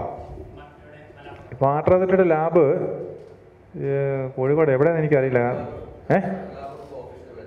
ആ അവിടെ തന്നെയാണ്. അപ്പോൾ മലാപ്പുറമ്പിൽ തന്നെയാണ് മറ്റേ ഞാൻ പറഞ്ഞ നമ്മുടെ റീജിയണൽ അനാലിറ്റിക്കൽ ലബോറട്ടറി ആ പ്രോഡക്ട് ഫോണിന്റെ അടുത്ത്. അവിടെ കൊടുത്താൽ കുഴപ്പമില്ല. അവിടെ നമ്മൾ നമ്മുടെ ഒതന്റിക് ലാബാണ് വാട്ടർ അതോറിറ്റിയും കുഴപ്പമൊന്നുമില്ല. ഇവിടെയാണെങ്കിൽ കുറച്ചുകൂടെ നല്ലതെന്ന് എനിക്ക് തോന്നുന്നു. എന്നാലും പ്രശ്നം രണ്ട് റെക്കഗ്നൈസ്ഡ് ആണ് ഏത് വേണമെങ്കിലും സൗകര്യം പോലെ കൊടുക്കാം. വെള്ളം കൊണ്ട് കൊണ്ടുപോകുമ്പോൾ നമ്മൾ ബാക്ടീരിയ നോക്കാനായിട്ട് പിന്നെ അവിടെ ഒരു ചെറിയ പ്രശ്നം വെച്ചാൽ സാധാരണ വെള്ളം കൊണ്ട് കൊടുക്കുമ്പോൾ നമ്മളൊരു ഹെൽത്ത് ഇൻസ്പെക്ടറുടെ സഹായം വേണ്ടി വരും. കാരണം വെള്ളം നമ്മൾ തന്നെ എടുത്തു കൊടുക്കാൻ പറ്റില്ല. അപ്പോൾ അതിന് വിലയില്ല. ഇപ്പം നമ്മൾ പോയിട്ട് മിനറൽ വാട്ടർ കൊണ്ടുപോയി ടെസ്റ്റ് ചെയ്യാൻ കൊടുത്താലോ? അങ്ങനെ ചെയ്തിട്ടുണ്ട് പല ആൾക്കാർ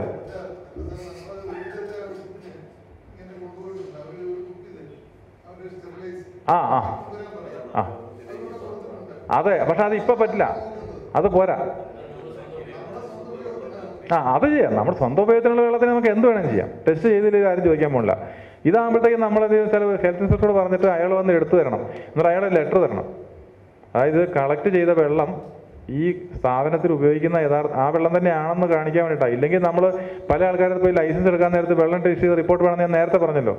പല ആൾക്കാരും മിനറൽ വാട്ടർ നിറച്ച് കൊണ്ടുപോയി കൊടുത്തിട്ടുണ്ട് ആദ്യം. അതിനുശേഷം ഇതിനകത്ത് മാറ്റം വരുത്തി ഈ ഈ സാധനം പാർട്ടി തന്നെ കൊണ്ടുപോയി കഴിഞ്ഞാൽ അത് സ്വീകരിക്കില്ല. അതിന് പകരം ആ ഏരിയയിലുള്ള ഏതെങ്കിലും ഒരാൾ ഫുഡ് സേഫ്റ്റി ഓഫീസർ വരാൻ പുള്ളി വളരെ തിരക്കാണ്. ഫുഡ് സേഫ്റ്റി ഓഫീസർ ഒന്ന് എടുത്തു തരാൻ സാധ്യത കുറവാണ് അല്ലെ പേഴ്സണലായിട്ട് പരിചയമുള്ള ആരെങ്കിലും ഉണ്ടെങ്കിൽ എടുത്തു തരുന്നല്ലാതെ അവരായാലും മതി. അല്ലെങ്കിൽ ഹെൽത്ത് ഇൻസ്പെക്ടറാണ് സാധാരണ ചെയ്യുന്നത് ആ കാര്യത്തിൽ നിങ്ങളെ ഏതായാലും അയാളുടെ ഒരു സർട്ടിഫിക്കറ്റ് ഒക്കെ പിന്നെ മേടിക്കണ്ടല്ലേ അതുകൊണ്ട് അങ്ങേരെ കൊണ്ട് എടുപ്പിക്കുക അങ്ങേരെ ലെറ്ററൊക്കെ തരും. സീൽ ചെയ്തിട്ട് തരും. ആ ലെറ്റർ വെച്ച് കൊണ്ട് കൊടുക്കുക. അപ്പോൾ അത് ഓക്കെ വെള്ളം ആ അതിനകത്ത് നമ്മളെ ഈ ബാക്ടീരിയോളജി ചെയ്യാൻ വേണ്ടിയിട്ട് ഒരു നൂറ് മില്ലി വെള്ളം മതി. അതിന്റെ കുപ്പി സ്റ്റിറൈൽ ബോട്ടിൽ വേറെ തരും. ഞാൻ നേരത്തെ പറഞ്ഞില്ലേ? അതിനകത്ത് മറ്റത് രണ്ട് ലിറ്റർ വേണം. അത് വെള്ളം എടുക്കുമ്പോൾ ചെയ്തോളും. വെള്ള ക്യാൻ ഉണ്ടല്ലോ. ക്യാൻ വെളുത്തത് മേടിക്കുക. അത് ഒരു സാധനം കൊണ്ടും കഴുകരുത്. കാരണം അത് ക്ലിയർ ആയിരിക്കും. ഈ ഏത് വെള്ളമാണ് ടെസ്റ്റ് ചെയ്യാൻ പോകുന്നത്? ആ വെള്ളം കുറച്ച് ഒഴിച്ച് കുലുക്കി കളയാന്നല്ല വേറെ യാതൊന്നും ചെയ്യരുത്. സോപ്പോ ഒന്നും ഉപയോഗിക്കാൻ പാടില്ല. അപ്പോൾ കെമിക്കൽ ടെസ്റ്റ് ചെയ്യുമ്പോഴത്തേ അത് വരും. അത് ഇത് നൂറ് മില്ലി ഈ സിറയിൽ ബോട്ടിൽ മറ്റേത് രണ്ട് ലിറ്ററിന്റെ ഒരു ക്യാനിൽ വെള്ളം. ഇത് രണ്ടും കൂടെ ഈ എച്ച് ഐ എടുത്തു തന്നെ ആ ലെറ്ററും കൊണ്ട് കൊടു- കൊടുത്തു കഴിഞ്ഞാൽ സംഗതി ശരിയാവും നിങ്ങളുടെ വീട്ടാവശ്യത്തിന് മാത്രമുള്ള വെള്ളമാണെങ്കിൽ നിങ്ങൾ ആരുടെ സർട്ടിഫിക്കറ്റ് ഒന്നും വേണ്ട. പിന്നെ നിങ്ങൾക്ക് ഇതുപോലെ വേണ്ട നിങ്ങൾ തന്നെ കൊടുക്കാം. നിങ്ങളുടെ വീടിന്റെ ആവശ്യത്തേക്ക് വേറെ ഇതല്ലേ ഞാൻ പറഞ്ഞു നിങ്ങൾ പേഴ്സണൽ ആവശ്യത്തിനുള്ള വെള്ളം മാത്രം ഉപയോഗിക്കുന്ന വെള്ളമേ പരിശോധിക്കണമെങ്കിൽ ഇതുപോലെ തന്നെ കൊണ്ട് കൊടുക്കണം. അപ്പോൾ അത് നമ്മൾ തന്നെ ചെയ്താൽ മതി. ഇതാകുമ്പോൾ ഈ കൊമേഴ്സ്യൽ ഒരു ആസ്പെക്റ്റ് ഉള്ളതുകൊണ്ട് നമ്മൾ ഈ രീതിയിൽ ഇദ്ദേഹത്തിന്റെ ഒരു ലെറ്ററോട് കൂടി വേണം കൊണ്ട് കൊടുക്കാൻ. ഞങ്ങൾ അത്യാവശ്യം വന്നപ്പോൾ ചിലതൊക്കെ എടുത്തു കൊടുത്തിട്ടുണ്ട്. അന്നൊക്കെ പിന്നെ അത്ര തിരക്കില്ലാത്ത സമയത്താണെങ്കിൽ ചിലപ്പം പറ്റും. എപ്പോഴും പറ്റില്ല.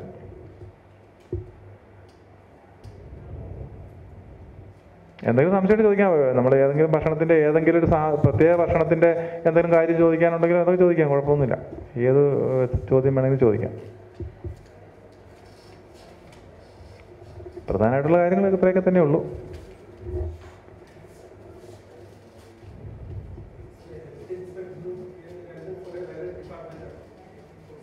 ഹെൽത്ത് ഇൻസ്പെക്ടർ നമുക്ക് അതിന്റെ പേര് കേട്ടാൽ തന്നെ അറിയാലോ. അവർ ഹെൽത്ത് ഇൻസ്പെക്ടർ എന്ന് പറയുമ്പോൾ അവർ ഹെൽത്ത് സംബന്ധിച്ച് ഇപ്പോൾ ഈ ഇഞ്ചക്ഷൻ ഇതൊക്കെ കുത്തിവയ്പ്പ് അതുപോലെ പ്രതിരോധ രോഗപ്രതിരോധ മാർഗങ്ങളെ കുറിച്ചുള്ള ക്ലാസ്സുകൾ അതൊക്കെ വരുള്ളൂ. ഫുഡിന്റെ അവർക്ക് വരുന്നില്ല.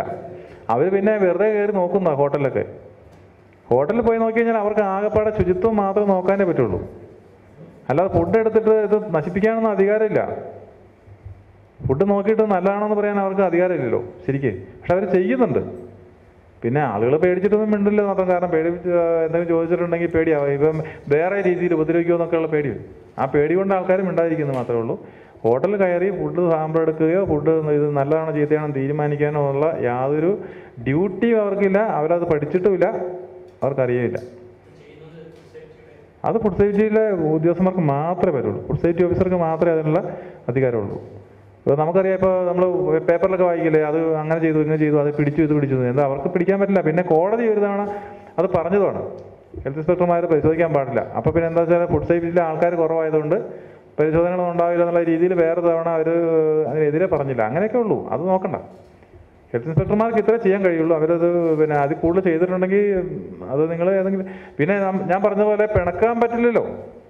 പിണക്കി കഴിഞ്ഞിട്ടുണ്ടെങ്കിൽ അടുത്ത തവണത്തെ സാനിറ്ററി സർട്ടിഫിക്കറ്റ് തരില്ല. അതാ അവർ ചെയ്യുന്നത് ആ രീതിയിലൊരു പേടിയുള്ളതുകൊണ്ടാണ് ആൾക്കാർ നിങ്ങളെ പിന്നെ എന്തായാലും അവർ ഉപദ്രവിക്കാൻ പറ്റില്ല. ഒരു മറ്റൊരു രീതിയിലുള്ളൊരു ബിസിനസ് അല്ലേ? അപ്പം ഇത്തരം കാര്യങ്ങൾ നോക്കുക. വളരെ കാര്യമായിട്ട് മുന്നോട്ട് പോകട്ടെ എന്ന്. ആ. അത് ഈ ഫ്രോസൺ ഐറ്റം ഫ്രീസർ വാങ്ങിച്ചാൽ മീറ്റ് ഫിഷ് എല്ലാം ഫ്രീസറിൽ വെച്ച് സെർവ് ചെയ്യാൻ പറ്റുമോ അത് പച്ചക്ക് ഓട്ടോ മാസം മാസം കുക്ക് ചെയ്തതല്ല. ഫ്രഷ് ആയിട്ടുള്ള ചിക്കൻ ആ അത് കുഴപ്പമില്ല. ഫ്രീസറിൽ വെക്കുകയാണെങ്കിൽ നിങ്ങൾ ചെയ്യേണ്ട വെച്ചാൽ നമ്മൾ ഹോം സ്റ്റേ ആണ്. അപ്പോൾ നമുക്ക് ആവശ്യമുള്ള ഒരു ക്വാണ്ടിറ്റി ഏകദേശം നമുക്ക് അതിനെപ്പറ്റി ഒരു അറിവുണ്ടാകണം പിന്നെ ഫ്രീസർ എന്ന് പറയുമ്പോൾ നമ്മൾ ശ്രദ്ധിക്കേണ്ട കാര്യം മൈനസ് എയ്റ്റീൻ ഡിഗ്രി വർക്ക് ചെയ്യാനുള്ള കപ്പാസിറ്റി ഉണ്ടോ ഫ്രീസറിന് എല്ലാ ഫ്രീസ് ഫ്രീസർ ആ. ഏ? അതെ അതിന്റെ ടെമ്പറേച്ചറേ നമ്മൾ സാധാരണ ഫ്രീസറിന് മൈനസ് പതിനെട്ട് ഡിഗ്രി കപ്പാസിറ്റി ഇല്ല. നമ്മളിപ്പോൾ ഏതെങ്കിലും കടയിലൊക്കെ പോയി നോക്കുമ്പോൾ അത് മൈനസ് പതിനെട്ട് ഡിഗ്രി തണുപ്പ് ഉണ്ടാക്കാനുള്ള കഴിവില്ല ഒരു ഒരുമാതിരിയുള്ള ഫ്രീസറിനൊന്നും അതിനുള്ള കഴിവില്ല. അതിന്റെ അതിന്റെ കപ്പാസിറ്റി അത്രയേ ഉള്ളൂ. അപ്പം മൈനസ് പതിനെട്ട് ഡിഗ്രി തണുപ്പിക്കാനുള്ള സംവിധാനം ഉണ്ടെങ്കിൽ മാത്രമേ ആ ആ ഫ്രീസറെ മേടിക്കാൻ പാടുള്ളൂ. നമുക്ക് നമ്മൾ ഈ ഫൈവ് സ്റ്റാർ ഹോട്ടലിലൊക്കെ കയറി അല്ലെങ്കിൽ ഏതെങ്കിലും ഹോട്ടലിൽ കയറി നമ്മൾ മീൻ വറുത്തത് കഴിച്ചാൽ അതിന് വേറൊരു ടേസ്റ്റാണ് എന്താ കാരണം? എന്താ കാരണം? അതിനകത്ത് വെച്ചിരിക്കുന്ന മീൻ ശരിക്കും മൈനസ് പതിനെട്ട് ഡിഗ്രി ഉള്ള ഫ്രീസറല്ല അതുകൊണ്ട് തന്നെ ചീത്തയാവും. അതാണ് വേറെ ടേസ്റ്റ് വരുന്നത്. രണ്ടാമത്തെ കാര്യം എണ്ണ. എണ്ണ പലതവണ ഉപയോഗിച്ച് കഴിയുമ്പോഴത്തേക്കും അതിന്റെ ടേസ്റ്റൊക്കെ പോയി. നമ്മൾ സാധാ ഒരു ഹോട്ടലിൽ ഒരു ഈ റോഡ് സൈഡിലുള്ള ഒരു ഹോട്ടലിൽ കയറി നമ്മൾ ഏതെങ്കിലും മീൻ വറുത്ത് കഴിച്ച് നോക്കി നല്ല ടേസ്റ്റ് ആയിരിക്കും. കാരണം അത് ഫ്രഷാണ് മറ്റേത് ഈ പതിനെട്ട് ഡിഗ്രി മൈനസ് പതിനെട്ട് ഡിഗ്രി ഉണ്ടാവില്ല തണുപ്പ്. അപ്പോൾ ചീത്തയാവും കുറേശ്ശെ കുറേശ്ശെ ചീത്തയാവും. വലിയ സ്മെല്ലൊന്നും കാണില്ല ബാഡ് സ്മെല്ലൊന്നും കാണില്ല പക്ഷെ സാധനം ചീത്തയും കെമിക്കൽ ചേഞ്ച് വരും. ഫ്രീസർ മേടിക്കുകയാണെങ്കിൽ മൈനസ് പതിനെട്ട് ഞങ്ങൾക്ക് ഇന്ന പർപ്പസിനാണെന്ന് പറഞ്ഞിട്ട് മേടിക്കും. അതിന് വില കൂടുതലാണ് ഈ ഫ്രീസറിന് വില കൂടുതലാണ് അപ്പോൾ അവരോട് പറഞ്ഞിട്ടേ മേടിക്കാവുള്ളൂ. അല്ല സാധാരണ ഒരു ഫ്രീസർ ഉണ്ടോ വെച്ച് കഴിഞ്ഞാൽ അതിനകത്ത് ഒരു മൈനസ് ടെൻ ഒക്കെ വരുള്ളൂ പരമാവധി. അതുപോലെ ഉണ്ടാവില്ല. കിട്ടും കിട്ടും കിട്ടും. ഓ നമ്മളിപ്പോൾ ഈ ഫ്രീസർ വിൽക്കുന്ന മറ്റു കമ്പനികളോട് പറഞ്ഞാൽ മതി ഞങ്ങൾക്ക് ഇത്ര ഡിഗ്രി എങ്കിലും വേണം. ഒരു മൈനസ് ട്വന്റി വരെയെങ്കിലും വേണം ഞങ്ങൾക്ക് ഇന്ന പർപ്പസ് എന്ന് പറഞ്ഞാൽ അതിനുള്ള വേറെ തരും. അതിന് വില കൂടില്ല ഫ്രിഡ്ജിന്റെ ഫ്രീസറിലൊന്നും പറ്റില്ല. അതൊക്കെ ഒരു സാധാരണ ഒരു ആറ് ഡിഗ്രി ഒരു മൈനസ് സീറോ കഴിഞ്ഞിട്ട് ഒരു മൈനസ് വൺ മൈനസ് വൺ ഒരു മൈനസ് ഫൈവ് ഒക്കെ വരും പരമാവധി. അത് കൂടുതലൊന്നും ഫ്രീസറിന്റെ ഇതിനകത്ത് ഫ്രീസർ വരില്ല ഇനിയിപ്പോൾ ലേറ്റസ്റ്റ് ആയിട്ട് ഇറങ്ങിയത് എന്തെങ്കിലുമൊക്കെ ഉണ്ടോ? അതിന് വ്യത്യസ്തമായിട്ടുണ്ടോ എന്ന് അറിയില്ല.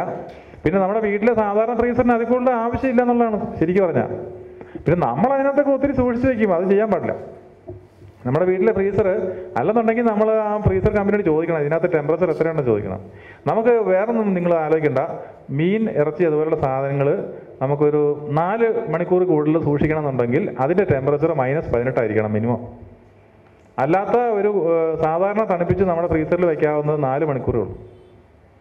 നാല് മണിക്കൂർ കൂടുതലായി കഴിഞ്ഞാൽ ഇത് പതുക്കെ ചെറിയ ചെറുതായിട്ടുള്ള രീതിയിൽ അതിന്റെ ഡിസിന്റിഗ്രേഷൻ തുടങ്ങും ഡീഗ്രേഡേഷൻ തുടങ്ങും. അപ്പോൾ നമ്മൾ അതിന്റെ ടേസ്റ്റ് മാറി മാറിപ്പോകും. ഒരിക്കലും ഒരു നമ്മൾ ഈ ഗസ്റ്റുകൾക്ക് പ്രത്യേകിച്ച് വിദേശികൾക്ക് ഈ ഒരു ചെറുതായിട്ട് മോശമായി കഴിഞ്ഞാൽ ഒരു സാധനം പോലും അവർക്ക് പെട്ടെന്ന് മനസ്സിലാവും. അതിന്റെ ടേസ്റ്റ് ഇപ്പം മീനൊക്കെ ആണെങ്കിൽ അത് ചീത്തയായിട്ടുണ്ടെങ്കിൽ അപ്പോഴേ മനസ്സിലാവും.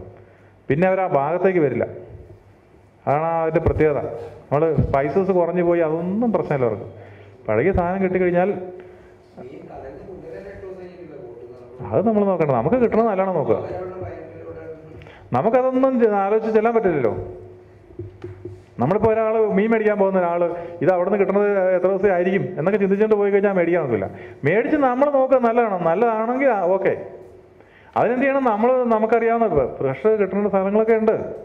അപ്പം നമുക്ക് അത്രയ്ക്ക് സ്പെസിഫിക് ആയിട്ട് നമുക്കത് നിർബന്ധമാണെങ്കിൽ നമ്മൾ ഫ്രഷായിട്ട് പിടിച്ചാൽ പെട്ടെന്ന് തന്നെ നമുക്ക് എത്തിക്കുന്ന ആൾക്കാരെ കണ്ടുപിടിക്കാൻ പറ്റും. എന്നിട്ട് അവരോട് മാത്രം മേടിക്കുക. അത് കെമിക്കൽ ഇട്ട മീൻ കിട്ടിയാലേ ഉള്ളൂ. അതൊക്കെ നിങ്ങൾ വെറുതെ പറയുന്നതാണ്. ഞങ്ങൾ ഇതൊക്കെ എത്ര പഠിച്ച് കുറേ സാധനങ്ങളൊക്കെ എടുത്ത് നമ്മൾ ഒരു സ്ഥലത്ത് പരിശോധിക്കുമ്പോൾ ആരോടും പറഞ്ഞിട്ടൊന്നുമല്ല പോകുന്നത്. അതുകൊണ്ട് ഇനി അങ്ങ് മുൻകൂട്ടി മാറ്റി ഇതൊന്നും പറയണ്ട. ഒരിക്കലും അങ്ങനെ ഒരു സംഭവം ഉണ്ടാവില്ല. ഞങ്ങൾ തന്നെ രാവിലെ തീരുമാനിക്കുന്നത് എവിടെ പോകണമെന്ന് അപ്പോൾ ഞങ്ങൾ എത്ര സാമ്പിൾ എടുത്തിരിക്കുന്നു? കെമിക്കലുള്ള എത്ര കണ്ടു? അതൊക്കെ വെറുതെയാണ് നമ്മൾ ഉദ്ദേശിക്കുന്ന പോലെ അല്ല. ഇപ്പം മംഗലാപുരത്ത് നിന്ന് വരുന്ന വഴിക്ക് തന്നെ നമ്മൾ എടുത്തിട്ടുണ്ട്. ഇത് ചുരുക്കം ചില സ്ഥലത്ത് മാത്രമേ ഇത് ഇടുന്നുള്ളൂ. അതൊക്കെ ഏത് വഴിക്കാ പോകുന്നത് നമുക്കറിയില്ല.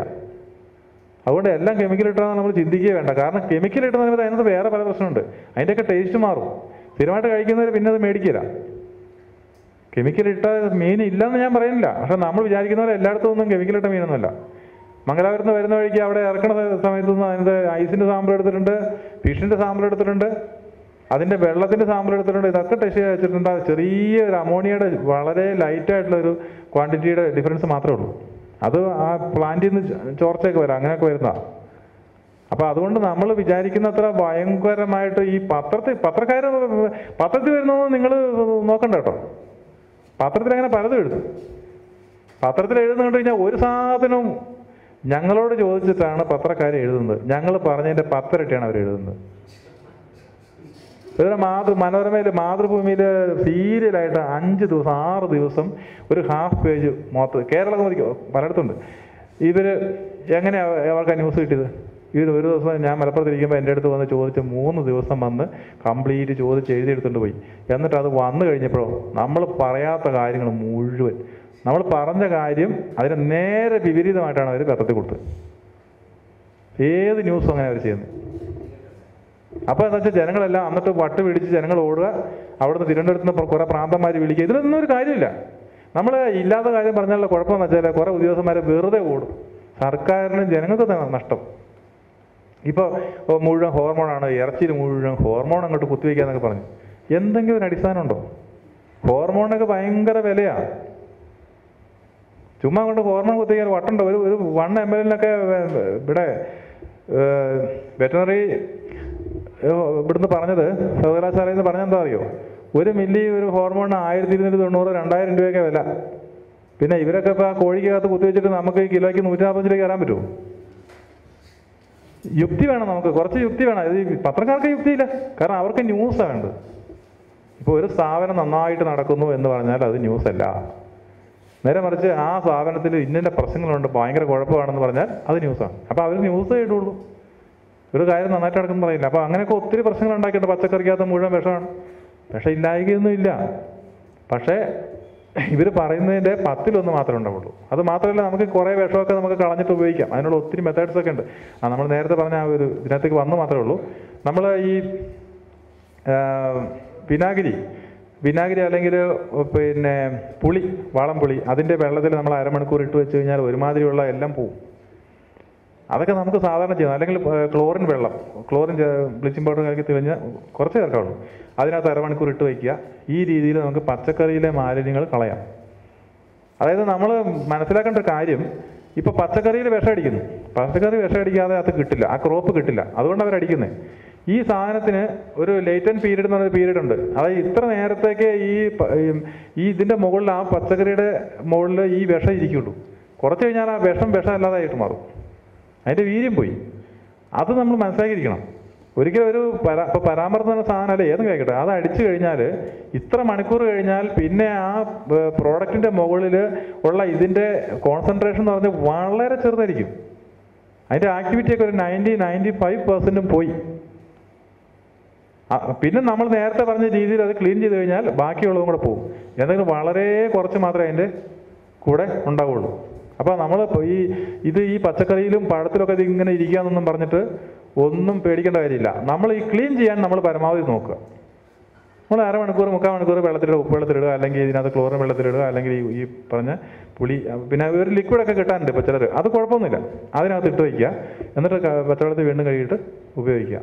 പഴത്തിലാണെങ്കിൽ നമ്മൾ പറയാം അപ്പോൾ ആപ്പിളിന്റെ മുകളിൽ ഒരു കോട്ടിംഗ് ഉണ്ട്. വാക്സ്. അത് എഡിബിൾ എഡിബിൾ വാക്സ് ആണ്. നേരെ മറിച്ച് നമ്മൾ നമ്മുടെ മൊബൈൽ എടുത്ത് നോക്കി അതിനകത്ത് എന്തോ വലിയ സംഭവമാണെന്ന് പറഞ്ഞിട്ട് ഓരോ വീഡിയോ. ഒരുത്തൻ കുറച്ച് ഇത് ചുരണ്ടി എടുക്കുന്നു എന്തോ ഇത് വാക്സ് ഇതാണ് നമ്മൾ തിന്നുന്നതെന്ന് പറയുന്നു. ഇത് നമ്മുടെ യുക്തിയെ പരിഹസിക്കുകയാണ് ശരിക്കും പറഞ്ഞാൽ.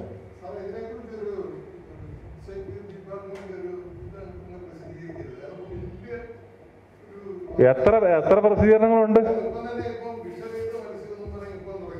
ആ.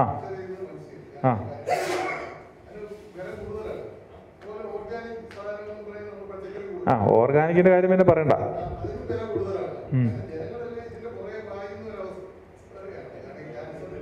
അല്ല നിങ്ങൾ പറയുന്ന പറയുന്നതിനകത്ത് കാര്യമുണ്ട്. അല്ല ഇതിന് ഞാനിപ്പോൾ ഇത്രയും പറഞ്ഞ സ്ഥിതിക്ക് പറയാണ്. ഇവിടെ കേരളത്തിൽ ആകെപ്പാടെ നൂറ്റി അറുപത് ഫുഡ് സേഫ്റ്റി ഓഫീസർമാരാണുള്ളത് കേരളത്തിൽ. പതിനാല് ജില്ലാ ഓഫീസർ പ്ലസ് മൂന്ന്. ഞങ്ങൾ ഇന്റലിജൻസ് സ്ക്വാഡ് ഒരു മൂന്നെണ്ണം. ഇത്രയും ആൾക്കാരെ കൊണ്ട് എന്ത് ചെയ്യാൻ കഴിയും നിങ്ങൾ ആലോചിച്ച് നോക്കിയാൽ മതി. എക്സൈസിലെ എണ്ണായിരം ഒൻപതിനായിരം ജീവനക്കാരുണ്ട്. എക്സൈസുകാർക്ക് മദ്യവും മറ്റേ ഇത് മാത്രം നോക്കിയാൽ മതി. ഞങ്ങളെ സംബന്ധിച്ച് നമ്മൾ മനുഷ്യൻ കഴിക്കാത്തതായിട്ടുള്ള എന്ത് സാധനമുള്ളത് ഇത് മുഴുവൻ നോക്കണം. അത് വേറെ കാര്യം. എന്ന് വെച്ചാൽ ഞങ്ങൾ അവരൊക്കെ ചെയ്യുന്നതിന്റെയൊക്കെ എത്രയോ ഇരട്ടി ജോലി ഞങ്ങൾ ചെയ്യുന്നുണ്ട്. പക്ഷേ നമ്മൾ ഞാൻ പറഞ്ഞു വന്നത് വേറെ ഒന്നുമല്ല നമ്മൾ ഈ പറയുന്ന രീതിയിലുള്ള പ്രശ്നങ്ങളൊന്നും ഇവിടെ ഇല്ല. ഈ കെമിക്കൽസ് മീനിലെ കെമിക്കൽസിന്റെ കാര്യത്തിലാണെങ്കിൽ പച്ചക്കറിയിലെ ഈ വിഷത്തിന്റെ കാര്യത്തിലാണെങ്കിലും അതിനൊക്കെ ഒരു പരിധിയുണ്ട്. നമ്മൾ പറയുന്നതിനകത്ത് ഒരു പരിധിയില്ലേ? നമ്മളിപ്പോൾ ഒത്തിരി പഠിച്ച വിദ്യാഭ്യാസമൊക്കെ ഉള്ള ആളാണെങ്കിൽ പോലും ഇത് വരുമ്പോൾ നമ്മൾ വിശ്വസിക്കും.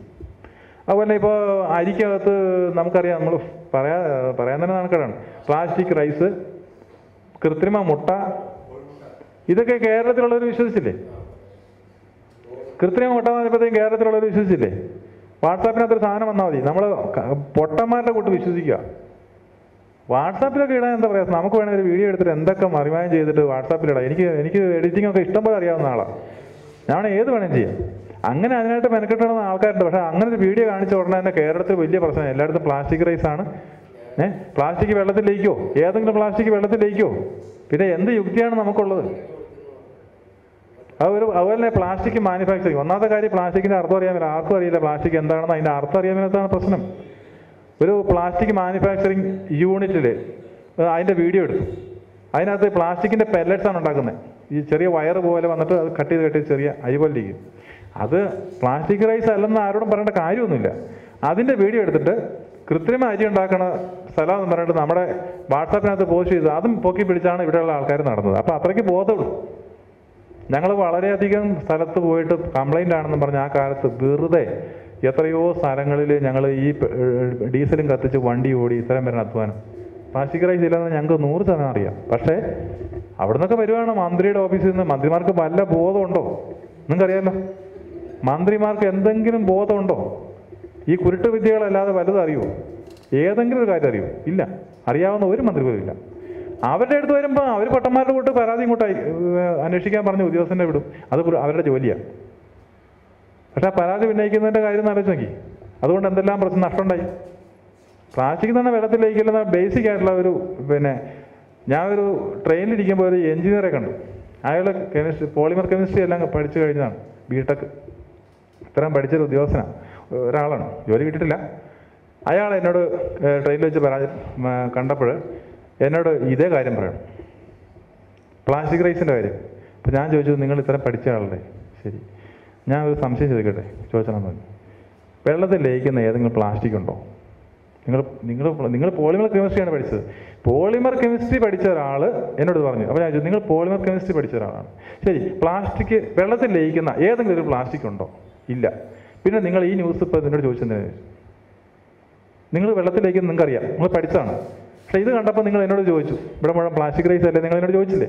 എന്താണ് യുക്തി എന്ന് ചോദിച്ചു. ഒരക്ഷരം വേണ്ടിയില്ല അപ്പോൾ ഇതൊക്കെ ചുമ്മാ മെക്കാനിക്കലായിട്ട് നമ്മൾ ഈ ഒരു തത്ത പറയുന്ന പോലെ ചുമ്മാ പറയുക എന്നല്ലേ അപ്പോൾ അതുകൊണ്ട് അത് ഇങ്ങനെയുള്ള കുറേ ഫാറ്റ്സ് ഒക്കെ ഉണ്ട്. നമുക്ക് അത് നോക്കണ്ട. ഒരു കുറേ നിങ്ങൾ അരി മേടിക്കും പ്ലാസ്റ്റിക് റൈസ് ആണോ എന്ന് സംശയിക്കേണ്ട കൃത്രിമ മുട്ടയാണോ എന്ന് സംശയിക്കേണ്ട അങ്ങനത്തെ ഒരു സാധനമൊന്നുമില്ല. നമ്മൾ നേരത്തെ പറഞ്ഞ ഈ വിഷാംശം കുറയ്ക്കാനായിട്ടുള്ള ചില മെത്തേഡ്സ് ഒക്കെ ഉണ്ട്. അത് നിങ്ങൾ എംപ്ലോയ് ചെയ്യുക. മുട്ടയൊക്കെ എല്ലാം സേഫ് തന്നെയാണ്. അതിനകത്തുനിന്ന് യാതൊരു സംശയമില്ല പിന്നെ നമ്മൾ മുട്ട കൈകാര്യം ചെയ്യുമ്പോൾ നമ്മൾ ആകെ ശ്രദ്ധിക്കേണ്ട കാര്യം മുട്ട നന്നായിട്ട് കഴുകി തുടച്ചിട്ടേ ഫ്രിഡ്ജിനകത്ത് വയ്ക്കാവുള്ളൂ ഈ മുട്ടയുടെ പുറത്ത് സാൽമണില്ല ഇഷ്ടംപോലെ ബാക്ടീരിയ ഉണ്ട്. കാരണം ഈ കോഴിയുടെ കാഷ്ടമൊക്കെ എവിടെയൊക്കെ കൈമറിഞ്ഞ് വരുന്ന സാധനമാണ്. അപ്പോൾ മുട്ട മേടിച്ചു കഴിഞ്ഞാൽ പർച്ചേസിങ് പോയിന്റ് തന്നെ ഇവിടെ കൊണ്ടുവന്നിട്ട് വെളി വെച്ച് നമ്മൾ കഴിയുമെങ്കിൽ ഒന്ന് കഴുകി ക്ലീൻ ചെയ്തതിന് ശേഷം മാത്രമേ ഫ്രിഡ്ജിനകത്ത് വയ്ക്കാവുള്ളൂ അത് വളരെ പ്രധാനപ്പെട്ട സാധനമാണ്. കാരണം ഫ്രിഡ്ജിന ഇല്ലെങ്കിൽ ഈ ബാക്ടീരിയ മുഴുവൻ ഫ്രിഡ്ജിന്റെ ഉള്ളിലായി കഴിഞ്ഞു. അത് മുട്ട ഭയങ്കരമായിട്ട് ബാക്ടീരിയ ഉള്ളൊരു സാധനമാണ്. അപ്പോൾ അതും ശ്രദ്ധിക്കുക മുട്ടയുടെ കാര്യത്തിൽ. പച്ചക്കറി ഈ പറഞ്ഞ പോലെ ക്ലീൻ ചെയ്യുക. ആ ഇറച്ചിയുടെ കാര്യത്തിൽ നമുക്ക് വേറെ ചെയ്യാനില്ല. കറക്റ്റ് ടെമ്പറേച്ചറിൽ സൂക്ഷിക്കുക. എണ്ണയൊക്കെ നമ്മൾ പറയുന്ന പോലെ തന്നെ റീയൂസ് ചെയ്യാതിരിക്കുക. നമുക്ക് റീയൂസ് ചെയ്ത കുഴപ്പമില്ലെങ്കിൽ നമ്മുടെ ഉപയോഗത്തിൽ നമ്മൾ എന്ത് വേണം ചെയ്തു? പേഴ്സണൽ യൂസ് ചെയ്യുന്ന ഇപ്പോൾ വേഷം കഴിക്കുന്നത് കുറ്റകരമല്ല എന്ന് പറഞ്ഞ പോലെ പക്ഷേ മറ്റുള്ളവർക്ക് കൊടുക്കുമ്പോൾ നമ്മൾ ഇത്തരം കാര്യങ്ങൾ ശ്രദ്ധിച്ചാൽ മാത്രം മതി. വെള്ളം യൂസ് ചെയ്യാനുള്ള പ്ലാസ്റ്റിക് ബോട്ടിൽ അങ്ങനത്തെ ഒരു പ്ലാസ്റ്റിക് ഇല്ല. പ്ലാസ്റ്റിക്കിനൊക്കെ ഒരു നമ്പറുണ്ട് ഒന്ന് മുതൽ എട്ട് വരെ നമ്പറുണ്ട് ആ നമ്പറിൽ നമ്മളിപ്പോൾ പെറ്റ് ബോട്ടിലാണ് സാധാരണ നമ്മൾ ഏറ്റവും കൂടുതൽ യൂസ് ചെയ്യുന്നത്. പെറ്റ് ബോട്ടിലൊക്കെ ഒരു തവണ മാത്രമേ ഉപയോഗിക്കാൻ പാടുള്ളൂ ശരിക്കും പറഞ്ഞാൽ പെറ്റ് ബോട്ടിൽ നമ്മളിപ്പോൾ വെള്ളം വെള്ളം മേടിച്ച് കുപ്പി നമ്മൾ എത്രയോ പ്രാവശ്യം യൂസ് ചെയ്യുന്നുണ്ട്. അത് ചെയ്യാൻ പാടില്ല ശരിക്കും പറഞ്ഞാൽ പെറ്റ് ബോട്ടിൽ നമ്മൾ വേറെ മേടിക്കുന്ന ഇതാണെങ്കിലും ശരി ഇതാണെങ്കിലും ശരി ഇതൊക്കെ ഓരോ പ്ലാസ്റ്റിക് ഈ പ്ലാസ്റ്റിക് ഒന്നും റീയൂസ് ചെയ്യാനുള്ള പ്ലാസ്റ്റിക് അല്ല. അതുകൊണ്ട് പ്ലാസ്റ്റിക്കിനകത്ത് നിങ്ങൾ ഒരിക്കലും വെള്ളം പിന്നെ ഒഴിച്ചു വെക്കരുത്. കുടിക്കാനുള്ളതൊക്കെ. ഇപ്പം നമുക്കറിയാം നമ്മളിപ്പോ ഈ ഒരു ബോട്ടിൽ നമ്മുടെ പ്ലാസ്റ്റിക് ബക്കറ്റ് നമ്മുടെ നമ്മൾ ബാത്റൂമിലൊക്കെ ഉപയോഗിക്കുന്ന ഇതിനകത്ത് കുടിക്കാനുള്ള വെള്ളം അതിനകത്ത് തന്നെ സൂക്ഷിച്ചു വെക്കുന്ന ഒത്തിരി വീടുകളുണ്ട്. ആ പ്ലാസ്റ്റിക് എന്ന് പറഞ്ഞാൽ വെറും കൊമേഴ്സ്യൽ പ്ലാസ്റ്റിക് ആണ്. അതിനകത്ത് ഡൈ ഉണ്ട്. അതിന് ഒത്തിരി കെമിക്കലുണ്ട് ഈ ഡൈ എല്ലാം വളരെ സാവകാശം അതിനകത്തുള്ള വെള്ളത്തിനകത്തേക്ക് ലീച്ച് ചെയ്യും. അപ്പോൾ നമ്മൾ പ്ലാസ്റ്റിക്കിനകത്ത് ഒന്നും ഒരിക്കലും വെള്ളം ഒഴിച്ച് കുടി കുടിക്കാനുള്ളത് വയ്ക്കാൻ പാടില്ല. അതുപോലെ തന്നെ ഒരു ഫുഡും നമ്മൾ സാധാരണ അല്ലെങ്കിൽ നമ്മൾ ഫുഡ് ഫുഡ് ഗ്രേഡ് പ്ലാസ്റ്റിക് എന്ന് പറഞ്ഞിട്ട് തന്നെ കിട്ടണം. ഇത് ഇവിടെ വളരെ ബുദ്ധിമുട്ടാണ്. ഫുഡ് ഗ്രേഡ് പ്ലാസ്റ്റിക് എന്ന് പറയുന്നത് ഇവിടെ കിട്ടാൻ വളരെ ബുദ്ധിമുട്ടാണ്. ഒട്ടും റീയൂസ് ചെയ്യാനുള്ള ഒരു ക്വാളിറ്റി ഇല്ലാത്ത സാധനമാണ് അതുകൊണ്ട് പ്ലാസ്റ്റിക്കിന്റെ കാര്യങ്ങൾ വിട്ടേക്കുക. പ്ലാസ്റ്റിക് ഒരു കാരണവശാലും ഉപയോഗിക്കേണ്ട. ഏതെങ്കിലും പ്ലാസ്റ്റിക് കവറിൽ എന്തെങ്കിലും വെക്കാമെന്ന് വെച്ചാൽ ഒരു ഒരിക്കലും ഉപയോഗിക്കുക പിന്നെ പ്ലാസ്റ്റിക് കവർ എടുത്ത് ദൂരെ കളയുക മറ്റ് സാധാരണ രീതിയിലുള്ള പ്ലാസ്റ്റിക്കിനകത്ത് ഒരു തരത്തിലുള്ള ഫുഡ് ഐറ്റവും ലിക്വിഡ് ആണെങ്കിലും സോളിഡ് ആണെങ്കിലും ഏത് രീതിയിലുള്ളതാണെങ്കിലും കീപ്പ് ചെയ്യരുത്. പേഴ്സണൽ ആവശ്യത്തിന് നമ്മൾ അത് വേറെ. പേഴ്സണൽ ആവശ്യത്തിനാണെങ്കിൽ നമ്മുടെ ആരോഗ്യത്തെ ബാധിക്കും. അതുകൊണ്ടാണ് ഞാൻ പറയുന്നത് അത്തരം കാര്യങ്ങളൊക്കെ നമ്മൾ ശ്രദ്ധിക്കണം. പിന്നെ സിന്തറ്റിക് നമ്മൾ വിനാഗിരി വിനെഗർ സിന്തറ്റിക് വിനെഗറൊക്കെ വാങ്ങിക്കുമ്പം കഴിയുന്ന കഴിയുമെങ്കിൽ നാച്ചുറൽ വിനെഗർ വാങ്ങിക്കുക. സിന്തറ്റിക് വിനെഗർ എന്ന് പറഞ്ഞാൽ നമ്മൾ അസറ്റിക് ആസിഡാണ്. ത്രീ പെർസെന്റ് അസറ്റിക് ആസിഡാണ് സിന്തറ്റിക് വിനെഗർ. അതൊന്നും അത്ര നല്ലതല്ല ആരോഗ്യത്തിന്. അത് കഴിയുന്നുണ്ടെങ്കിൽ സിന്തറ്റിക് അല്ലാത്ത നാച്ചുറൽ വിനെഗർ നമ്മൾ ഈ കള്ളിനകത്ത് കള്ളിനാണ് ശരിക്കും എടുക്കുന്നത്. ആ അതോ അല്ലെങ്കിൽ പിന്നെ വേറെ പല ഫ്രൂട്ട്സിനകത്തു നിന്നൊക്കെ ഉണ്ടാക്കുന്നൊക്കെ ഉണ്ട് അങ്ങനെയുള്ളത് മാത്രം നമ്മൾ ഇവർക്ക് കൊടുക്കാനായിട്ട് ഫുഡിനകത്ത് ഉപയോഗിക്കാനായിട്ട് വാങ്ങിക്കുക. ഏതേതാ. അത് കോഴിയുടെ കാഷ്ടം. കോഴിയുടെ കാഷ്ടത്തിൽ കോഴിയുടെ കുടലിനകത്ത് ഇഷ്ടം പോലെ ഉണ്ട്. കോഴിയുടെ കാഷ്ടത്തിനകത്ത് മുഴുവൻ സാൽമണലയാണ് സ്വാഭാവികമായിട്ടും മുട്ടയിലുണ്ടാവും. നമുക്ക് കണ്ടില്ല നമ്മുടെ മുട്ടയെല്ലാം കറുത്ത് അവിടുന്ന് റോ ആയിട്ട് എടുത്ത് നമ്മൾ വിദേശങ്ങളിലൊക്കെ മുട്ട കിട്ടുന്ന ഇങ്ങനെയല്ല. വിദേശങ്ങളിൽ മുട്ടയൊക്കെ അതിന് മുമ്പ് തന്നെ ക്ലീൻ ചെയ്തിട്ടാണ് വരുന്നത് നമ്മുടെ ഇവിടെ അങ്ങനെയല്ലോ ആ പാമ്പിൽ നിന്ന് നേരെ എടുത്ത് വയ്ക്കുകയാണ് കോഴിക്കാട്ട് ഇങ്ങനെ ഇരിപ്പുണ്ട് അതൊന്നും കളയാൻ പോലും ശ്രമിക്കില്ല. അതേപടി തന്നെ ആ മുട്ടയുടെ പുറത്തുണ്ടാവും. അതുകൊണ്ടാണ് പറഞ്ഞത് ഫ്രിഡ്ജ് ഫ്രിഡ്ജിനകത്ത് വയ്ക്കുന്നതിന് മുമ്പ് അത് ക്ലീൻ ചെയ്യണം. കുറച്ച് ബുദ്ധിമുട്ടാണ് കാരണം അതൊക്കെ കൈ അത് പക്ഷേ അത് ചെയ്യണം. അങ്ങനെ ചെയ്യണം. അല്ലെങ്കിൽ ഫ്രിഡ്ജിനകത്ത് ഒന്നും വേണ്ട. ഫ്രിഡ്ജിനകത്ത് വയ്ക്കാതിരുന്നാൽ മതി. തൽക്കാലത്തേക്ക് ഫ്രിഡ്ജ് വയ്ക്കാതിരുന്നാൽ മതി പുറത്ത് വയ്ക്കുന്നെങ്കിൽ എവിടെയെങ്കിലും വെച്ചോ കുഴപ്പമില്ല. ഫ്രിഡ്ജ് വെക്കുന്നതിന് പക്ഷേ നമ്മൾ അതിപ്പോൾ ഏത് സാധനമാണെങ്കിലും നമ്മുടെ ഫ്രിഡ്ജിനകത്ത് വയ്ക്കുന്നതിന് മുമ്പ് അത് കഴുകിയിട്ടാണ് വെക്കേണ്ടത് ശരിക്കും പറഞ്ഞാൽ. ഫ്രിഡ്ജിനകത്ത് ജീവിക്കുന്ന ബാക്ടീരിയ ഉണ്ട് തണുപ്പിൽ അത് പെട്ടെന്ന് ചത്തുപോകുന്നില്ല അപ്പോൾ അതൊക്കെ അതിനകത്ത് പെട്ട് കഴിഞ്ഞാൽ ലിസ്റ്റീരിയ എന്നൊക്കെ പറയുന്ന ഒരു കാറ്റഗറി ഉണ്ട്. അത് ഫ്രിഡ്ജിനകത്ത് ഭയങ്കര തണുത്ത ടെമ്പറേച്ചറിലും ജീവിക്കുന്ന സാധനമാണ്. അത് പ്രൈവ് ചെയ്ത് കഴിഞ്ഞാൽ അത് ബുദ്ധിമുട്ടാണ് പിന്നെ അവിടുന്ന് പോവില്ല. ലിസ്റ്റീരിയ ബാധിച്ച ആൾക്കാരൊക്കെ മരിക്കുന്നുണ്ട് വിദേശങ്ങളിലൊക്കെ. അവിടുത്തെ പ്രത്യേകത ആണ്. ലിസ്റ്റീരിയ ഇവിടെ ലിസ്റ്റീരിയ അധികം കാണാറില്ല പക്ഷേ അത് പെട്ടുപോയി കഴിഞ്ഞാൽ വലിയ പ്രശ്നമാണ്. വേറെ ക്വസ്റ്റ്യൻ എന്തെങ്കിലും ഉണ്ടോ അല്ലെങ്കിൽ ഈ സെഷൻ വൈൻഡപ്പ് ചെയ്യാം. സാറിന്റെ പേര് K S Janardhanan. Janardhanan. Assistant commissioner food safety intelligence സാറിന്റെ mobile number nine double four seven two six double one three four സാറിന്റെ വക സോറി ജി വക സാറിന് നന്ദി. സാറിന്റെ സ്ട്രോങ് സ്പീച്ചും ട്രെയിനിങ് പോയിന്റ്സും എല്ലാത്തിനും എല്ലാവർക്കും ഇഷ്ടപ്പെട്ടു എന്ന് തോന്നുന്നു. എല്ലാവരുടെയും ക്വസ്റ്റ്യൻസും സാർ ഹാൻഡിൽ ചെയ്തു.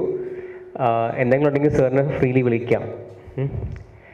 മിസ്റ്റർ ആനന്ദമണി ഞാൻ സാറിനൊരു മൊമെന്റ് കൊടുക്കാൻ കോൾ ഫോർവേഡ് മിസ്റ്റർ ആനന്ദമണി